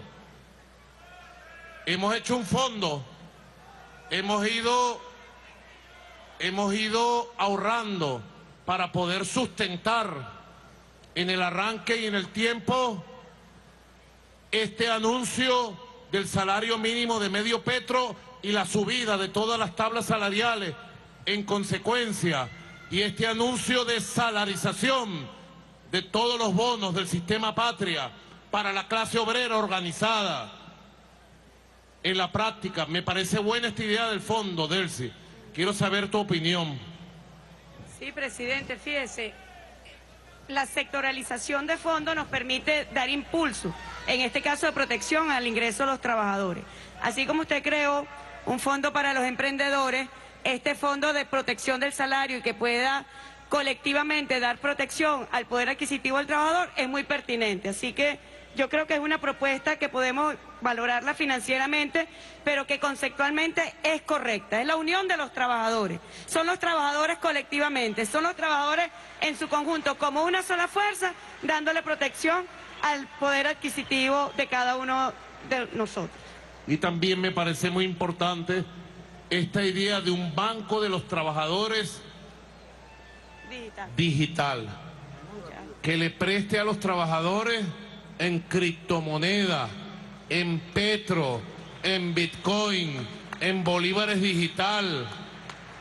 Yo quisiera que el vicepresidente de Economía, Tarek El Aizami, me diera su opinión. Yo quiero encargar a Tarek El Aizami, experto en criptomonedas, quiero encargarlo que en 72 horas, junto a los delegados del Congreso de la clase obrera, me den una opinión sustentada, seria y contundente para nosotros, ojalá, con el favor de Dios y de la Virgen, estar fundando muy pronto un banco de los trabajadores digital para apoyar a la clase obrera. Taret, por favor. Saludo, presidente. También quiero aprovechar saludar a todos nuestros hermanos de clase, a todos nuestros trabajadores, trabajadoras de todas las industrias nacionales. Muy especialmente, permíteme saludar a mis trabajadores de PDVSA, a los trabajadores de Pequibén, a los trabajadores de la industria básica, a la Corporación Venezolana de Cemento, a todos, a todos en forma general. Y antes de responderle, presidente, hacer una reflexión necesaria. En algún momento de la historia le tocarán a las generaciones futuras hablar de los tiempos de lucha que hemos emprendido hoy día. Y sin lugar a duda,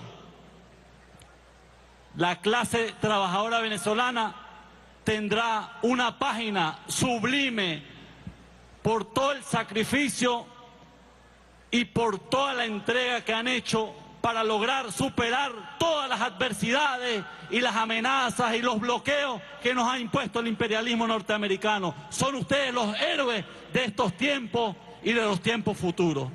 Respecto a esta propuesta, presidente, ya nosotros hemos venido trabajando algunos fondos como a título de ensayo, de experimento. Ya en PDVSA ya hay experiencia, sobre todo con nuestros pensionados jubilados, que se les entrega parte de sus ahorros en criptomonedas y especialmente en Petro. Ahora hay una propuesta concreta de ir hacia la protección de todos los fondos, sobre todo los pensionados, en cripto. Y ya tenemos un avance fundamental con el ministro Ricardo Menéndez, ministro y vicepresidente de Planificación, José Ramón Rivero, ministro del Poder Popular del Trabajo y todo el equipo económico.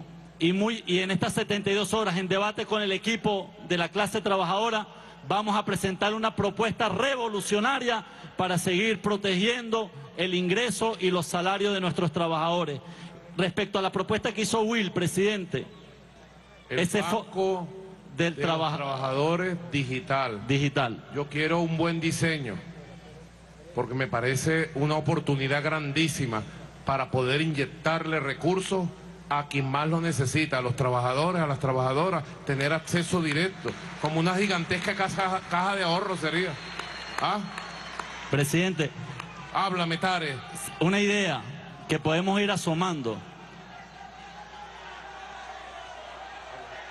Este, ese fondo y ese banco puede tener sus reservas a partir del aporte de la producción de los trabajadores de cada empresa, de lo que producen. Y ese producto lo podemos monetizar y colocarlo en reserva y esa reserva digitalizarla y ya se convertiría en fondos disponibles para la protección de la clase trabajadora. Es decir, que el aporte sea parte del esfuerzo productivo de la clase trabajadora. Y que sea un banco de los trabajadores de la ciudad, el campo y la pesca, integral para todos los trabajadores.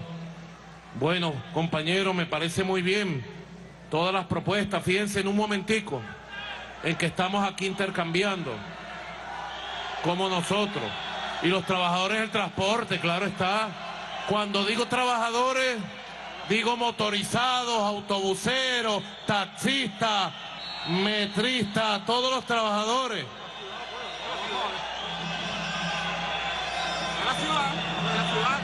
Apenas estamos arrancando. Vamos a darle la palabra para un saludo. No se tire un discurso, un saludito de corazón, porque veo que traen ya discursos escritos. Hablen con el corazón. Yo le voy a dar la palabra a Karen Vanessa, trabajadora del sector cemento.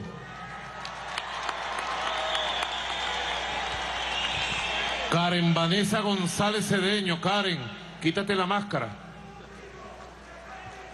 Danos un saludo. Bienvenida. Gracias, presidente. Primeramente, Ahí están tus compañeros, mira, de trabajo. Y por allá, Karen, cemento y construcción. Cemento y construcción. mucha disciplina de ustedes. Bueno, agradecida de estar hoy aquí en representación de las mujeres venezolanas, guerreras, luchadoras y revolucionarias. Saludos, presidente. Saludos a nuestro... Compañeros, dirigentes. Saludo a nuestro ministro del Trabajo, José Ramón Rivero, a nuestro presidente de la Federación de la Construcción y Cemento de Venezuela, Marco Tulio Díaz, Marco Tulio, vale. Le salió saludo. a todo ese pueblo trabajador que hoy nos acompaña y a mis compañeros de cemento y construcción.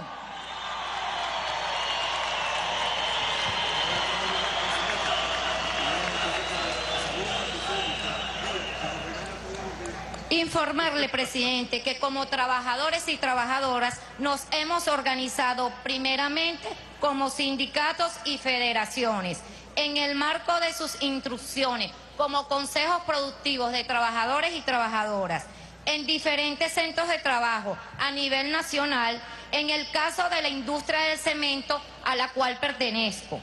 En cada planta y general en las áreas de transporte, concreto y cemento a lo largo y ancho del territorio nacional.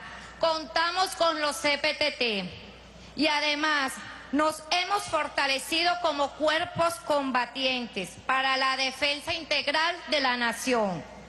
También como madre y mujer trabajadora, ratificarle todo nuestro apoyo para seguir luchando, produciendo y fortaleciendo nuestra patria.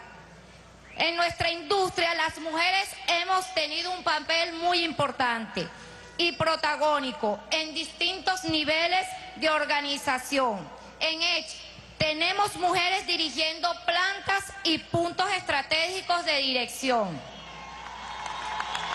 En el medio, en el medio de la actual crisis, los trabajadores y trabajadoras hemos llevado sobre nuestros hombros la carga más fuerte y sin duda hemos comprendido que la justa distribución de la riqueza va de la mano de elevar y mantener los niveles productivos para, para garantizar los beneficios económicos y socioeconómicos de todas y todos.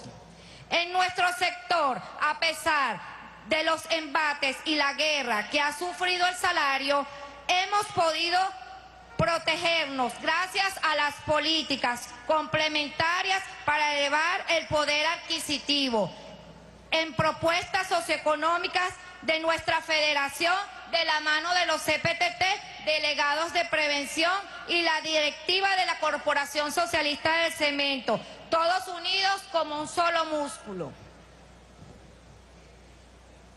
Igualmente, presidente, y en favor de nuestro pueblo hemos venido garantizando la comercialización de nuestros productos para la gran misión Vivienda Venezuela, para el sector construcción público y privado y para todo nuestro pueblo. Presidente, somos una industria que hemos desarrollado lo necesario para la sustitución de importaciones, lograr la producción nacional de nuestra materia prima. Estamos organizados y articulados con el motor construcción para avanzar en la reactivación y el fortalecimiento del aparato productivo. Con ello, el fortalecimiento del empleo nacional.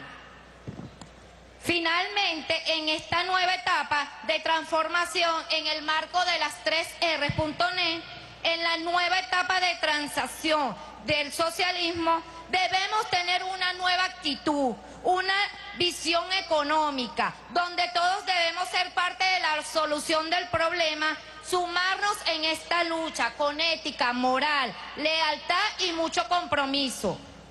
Recuer- recuperar los valores de nuestro país y así garantizar el no retroceder de los logros alcanzados en revolución para nuestro pueblo.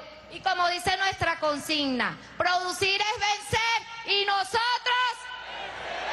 Y nosotros, Karen Vanessa, gracias Karen. Gracias a usted, ¿Quién te puso ese nombre, Karen? ¿Quién te puso ese nombre? mi madre y mi padre. Karen Vanessa González Cedeño. ¿Tú eres de dónde? ¿Nacida dónde? Aquí en Caracas. En Caracas. Correcto. Caraqueña. ¿De qué parroquia? Miranda. Parroquia Miranda. Ah, no, para acá Sucre. Parroquia Sucre. Bueno, Miranda y Sucre, dos libertadores. Gracias, Karen. Vamos a darle la palabra ahora a María Alejandra Grimán Rondón. María Alejandra, ¿tú vienes de dónde, María Alejandra? De Tijuana, Estado Zulia, mi presidente. Tía Juana, Estado Zulia, mija. Recibí un saludo revolucionario y clasista y ampliamente chavista desde la cuna del lago de Maracaibo y del relámpago del Catatumbo. Más nada.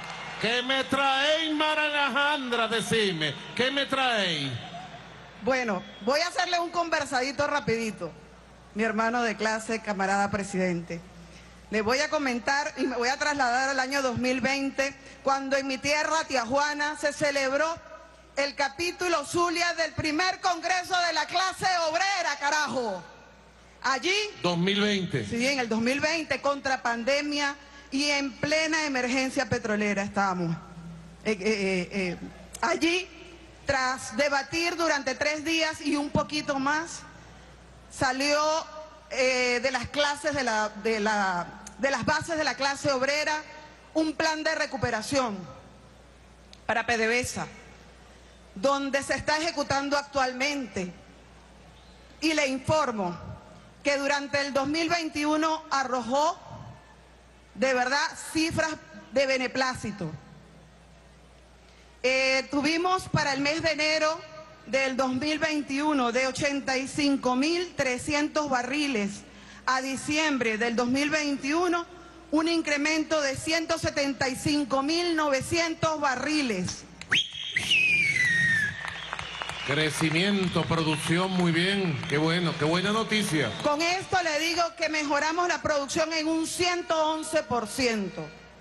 Y Mira. producto de eso estamos recibiendo de parte suya hoy y le doy las gracias a nombre de todos los que estamos acá en el Poliedro de Caracas. Mis hermanos y hermanas de clase, le decimos gracias. Gracias por reivindicarnos. Gracias por el apoyo. Gracias a ti, María Alejandra. Fíjate, el comentario que hace María Alejandra. Venezuela va a ser una potencia petrolera otra vez. Amén. Nosotros somos el país, como dice el camarada Luis Vicente León hoy en unas declaraciones, el país petrolero que puede crecer más rápidamente en producción. Ahora estamos en un millón de barriles con pulmón propio, pero estamos listos para llegar a dos millones de barriles y con una ayudita a tres millones de barriles en poco tiempo. Así podemos subir a 3 millones de barriles rápido. Y más. Ahí está el petróleo de Venezuela, que es un petróleo seguro para quien quiera producir, para que quiera comprarlo, sea un inversionista que venga del Asia, un inversionista que venga de Europa, sea inversionistas que vengan de Estados Unidos, bienvenidos. Sea inversionistas que vengan de Sudamérica, de África, de Asia, de donde vengan. Las puertas de Venezuela están abiertas para invertir, para producir petróleo, para producir gas y para darle estabilidad petrolera y gasífera al mundo entero, incluyendo a los Estados Unidos de Norteamérica. Estamos listos para venderle petróleo a Estados Unidos, para venderle gas. Listo. No politizar. Los temas económicos no deben ser politizados. Así como los temas deportivos. Miren esto que acaban de hacer contra Rusia. Una cosa es el conflicto militar en Ucrania y otra cosa son las Olimpiadas. A Rusia le han sancionado a los atletas. ¿Por qué van a sancionar a los atletas? Si el olimpismo en su esencia es la convivencia de la diversidad de pueblos y culturas del mundo. Lo mismo digo para la economía. La economía que funcione. Las sanciones que se vayan y restablezcamos todo lo que son las regulaciones, el funcionamiento y la capacidad productiva de Venezuela y la capacidad para abastecer al mundo de petróleo y de gas. He dicho, Jacobo. María Alejandra. A eso iba eh, mi hermano presidente, hermano de clase, a eso iba. Para el 2022 tenemos una meta de 2 millones de barriles de petróleo. Y Occidente, la cuenca del Occidente, en organización de la clase obrera, estamos vision- visionándonos sobre los 400 barriles para cumplir con esa meta. 400 mil. 400 mil barriles. Cúmplase, María Alejandra. Gracias, María Alejandra. Que quería, bueno, para, para Darnos finalizar. buenas noticias. Quería para finalizar, sí, por supuesto, para finalizar y en, en ocasión de la discusión de las 3R.net, eh, la nueva er- eh, etapa de transición al socialismo, decirle que cuenta usted con una clase obrera comprometida, que está en resistencia permanente, está rodilla en tierra con usted y queremos hacer de la revolución del 2030 y más allá, que sea irreversible, apoyarlo a usted para el 2024, cuente con una clase obrera comprometida, que está en total resistencia y que desde nuestras bases le decimos no a los divisionistas que quieren socavar las bases de la revolución. Así es. Estamos en total unidad, creemos en el trabajo en equipo, creemos en la revolución, creemos en el renacer de las 3R.net. Y para eso está la autoformación desde nuestras bases, la certificación de los saberes. Cuente con nosotros, camaradas.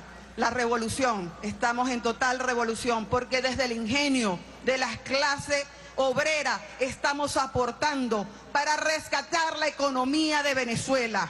Tenemos más de 54 planes y proyectos nacidos en la clase obrera, en nuestros congresos, organizados en Consejo Productivo de Trabajadores y Trabajadoras que están a su total disposición.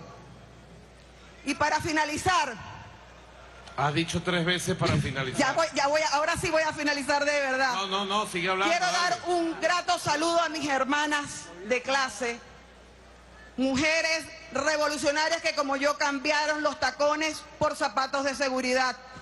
Las mujeres del bloque antiimperialista, del sector petróleo, gasífero y petroquímico. Pura mujeres, mira. ¿Quién puede contra las mujeres? Nadie. Nadie. ¿Quién puede contra las mujeres? Cuente usted, camarada Nicolás Maduro Moros, con una revolución como Zamora, irreverente, aguerrida, revolucionaria, leal como Sucre, pero sobre todo apasionada como Manuela Sáez. ¡Leales siempre! María Alejandra, un aplauso. Creo en ti, María Alejandra. Cuente con nosotros, Creo en ustedes, mujeres. cuente con nosotros. Creo en ustedes, compañeros, trabajadores. Creo profundamente, siempre, en mi patria. Y creo en la clase obrera, porque vengo de ahí. Yo no vengo de cafetines, de habladores de pistolada. Vengo de saber lo que es el trabajo, la asamblea obrera, los debates sindicales, la discusión de contratos colectivos. Fue nuestra escuela primaria y luego vino la escuela superior con nuestro maestro mayor, nuestro amado comandante Hugo Rafael Chávez Frías, que fue el maestro de un pueblo entero, fue nuestro maestro, el maestro de las dificultades, el maestro aguerrido, el maestro del ejemplo. Gracias, María Alejandra. Vamos a escuchar a otra mujer. Escuchamos a Karen Vanessa de Caracas, de Katia. Noticia, vamos a 400 mil barriles en Lagunilla. Y ahora vamos a escuchar desde Valencia, nos viene una aguerrida dirigente de la clase obrera de la petroquímica venezolana, Rosagni Gildamar Padilla Tarazona. Ingeniera, por favor. Buenas noches.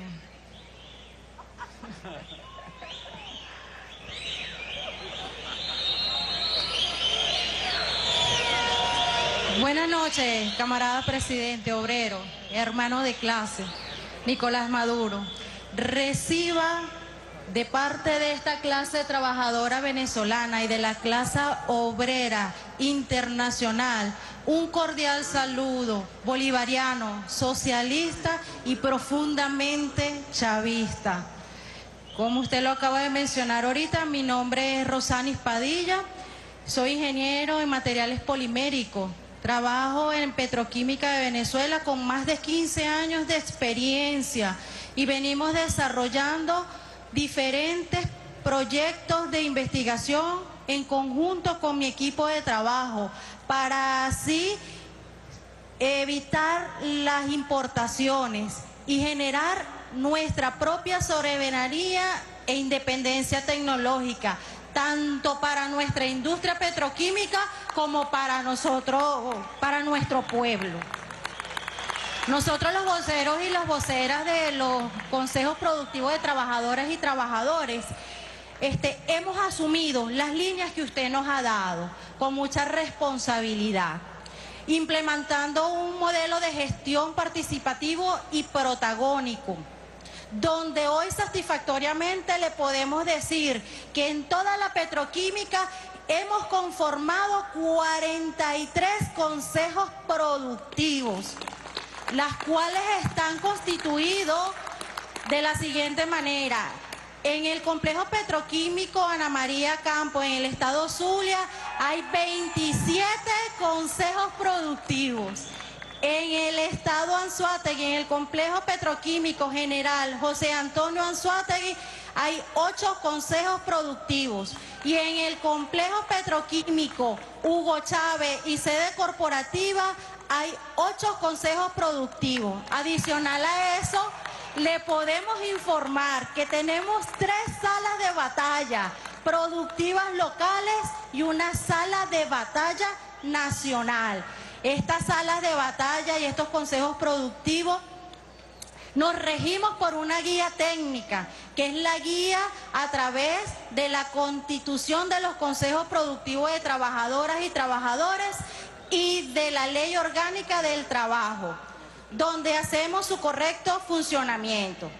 Y como usted, presidente, es el dueño de la victoria de este país, hoy nosotros le queremos decir orgullosamente que hemos logrado varias victorias en la petroquímica, gracias a usted que nos ha dado ese impulso y gracias al ministro Tarel Exami que nos ha prestado ese apoyo incondicional que estamos trabajando en conjunto con los trabajadores de PDVSA Gas para así garantizar el gas propano, que es la materia prima fundamental para el arranque de las plantas del complejo petroquímico Ana María Campo, teniendo de forma victoriosa y positiva la participación para 1.200 empresas de transformación en el sector petroquímico. Otra de las victorias que también quiero mencionarle es de que nosotros, la clase obrera trabajadora, desde los talleres, con esfuerzo propio y venciendo la guerra económica, han desarrollado justamente en la planta de clorosoda repuestos, piezas para darle continuidad a esa planta y garantizar el cloro para la potabilización del agua que surte a nuestro país. También quiero decirle que ya estamos a punto de arrancar el complejo petroquímico Hugo Chávez, específicamente en las plantas de fertilizantes de nitrogenado y las plantas de fertilizantes de fosfatado, para así cubrir la demanda nacional en relación a los fertilizantes. Y no se me puede pasar que la otra victoria que estamos logrando en el complejo petroquímico general José Antonio Anzuategui es de que se realizó el esquema y se ejecutó el reformador de carga primario para la segunda línea de producción, donde hemos tenido 2.000 toneladas métricas diarias. Que eso es un hito de, de uria. Eso es un hito histórico que no lo habíamos alcanzado desde hace tres años. Es también en la parte de comercialización petroquímica de Venezuela, está haciendo diversas expoferias, donde ayer llegamos a la número 123 en el estado Mérida, llegando de la mano directa de los pequeños y medianos productores, dándoles asesorías técnicas. Para finalizar, le digo que esta clase obrera venezolana somos los protagonistas de el renacer revolucionario, donde participamos en este segundo congreso para debatir, para intercambiar ideas y consolidar el socialismo, para también acompañar esa clase obrera campesina y también el pueblo organizado en forma de comunas que ellos van a acelerar la transición al socialismo.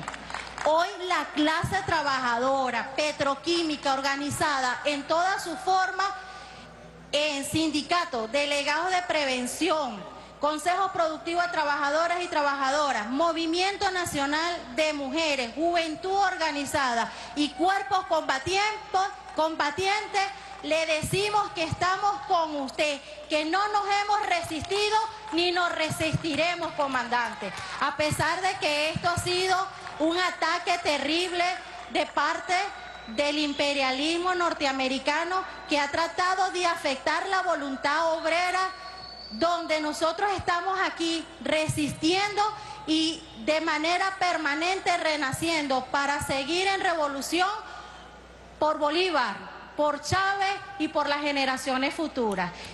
Tenemos un logo muy personal de la petroquímica de Venezuela que dice, trabajo en equipo, victoria segura.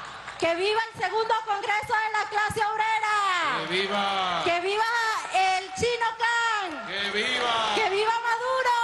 Que viva. Que viva esta clase presidente. Que viva Rosani. Que viva. Que viva la petroquímica. Que viva. Me impresiona. De verdad Le me mandamos un saludo cordial de parte del presidente de Petroquímica de Venezuela, el ingeniero Rafael Tellechea, en conjunto con toda su junta directiva. Tiene un tren ejecutivo demasiado excelente que está trabajando para seguir construyendo el socialismo y toda esa clase obrera trabajadora comprometida para seguirlo apoyando, presidente. Que sigan las victorias para el 2024 y que Dios te siga bendiciendo a ti y a ese todo tren ministerial que te acompaña. Bendiciones. Amén. Amén. Amén. Por siempre. Forever, forever, forever. Amén, amén, amén. Rosani, bueno, me de verdad es impresionante la forma como Rosani, una lideresa joven, una muchacha, es capaz de manejar todas las cifras de la petroquímica, los procesos de recuperación. El año pasado la petroquímica logró recuperarse al 95% y este año va al 100% toda la petroquímica venezolana, al 100% para satisfacer las necesidades internas del país y para la exportación, sustituir importaciones y exportar.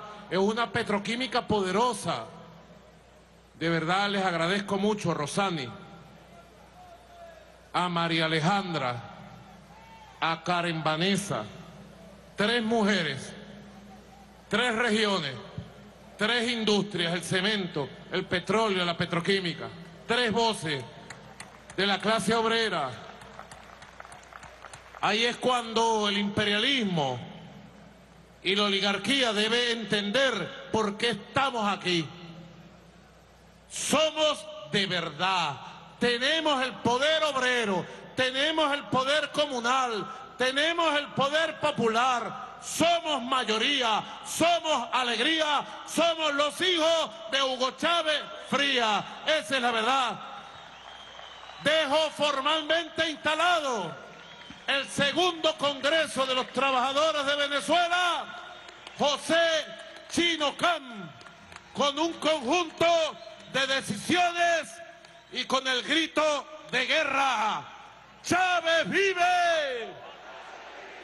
Independencia y patria socialista. Leales siempre. Clase obrera de la patria.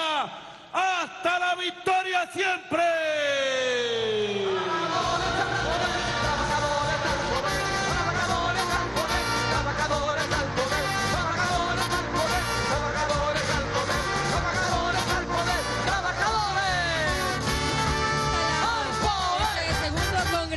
La clase obrera por parte del presidente constitucional Nicolás Maduro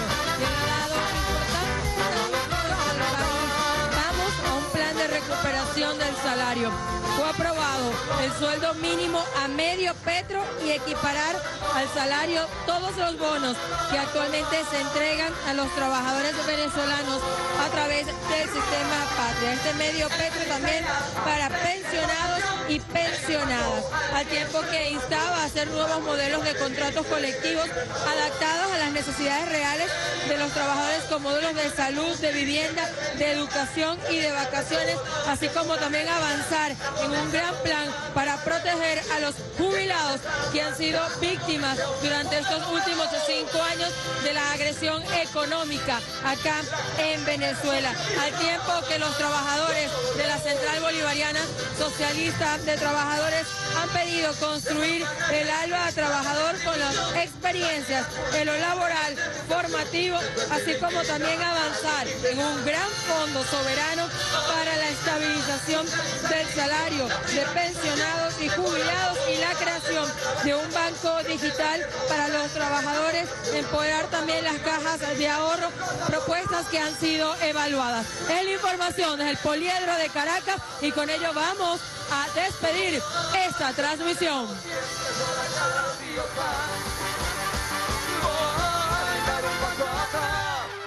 Bien, así veíamos la instalación de este segundo Congreso de la clase obrera.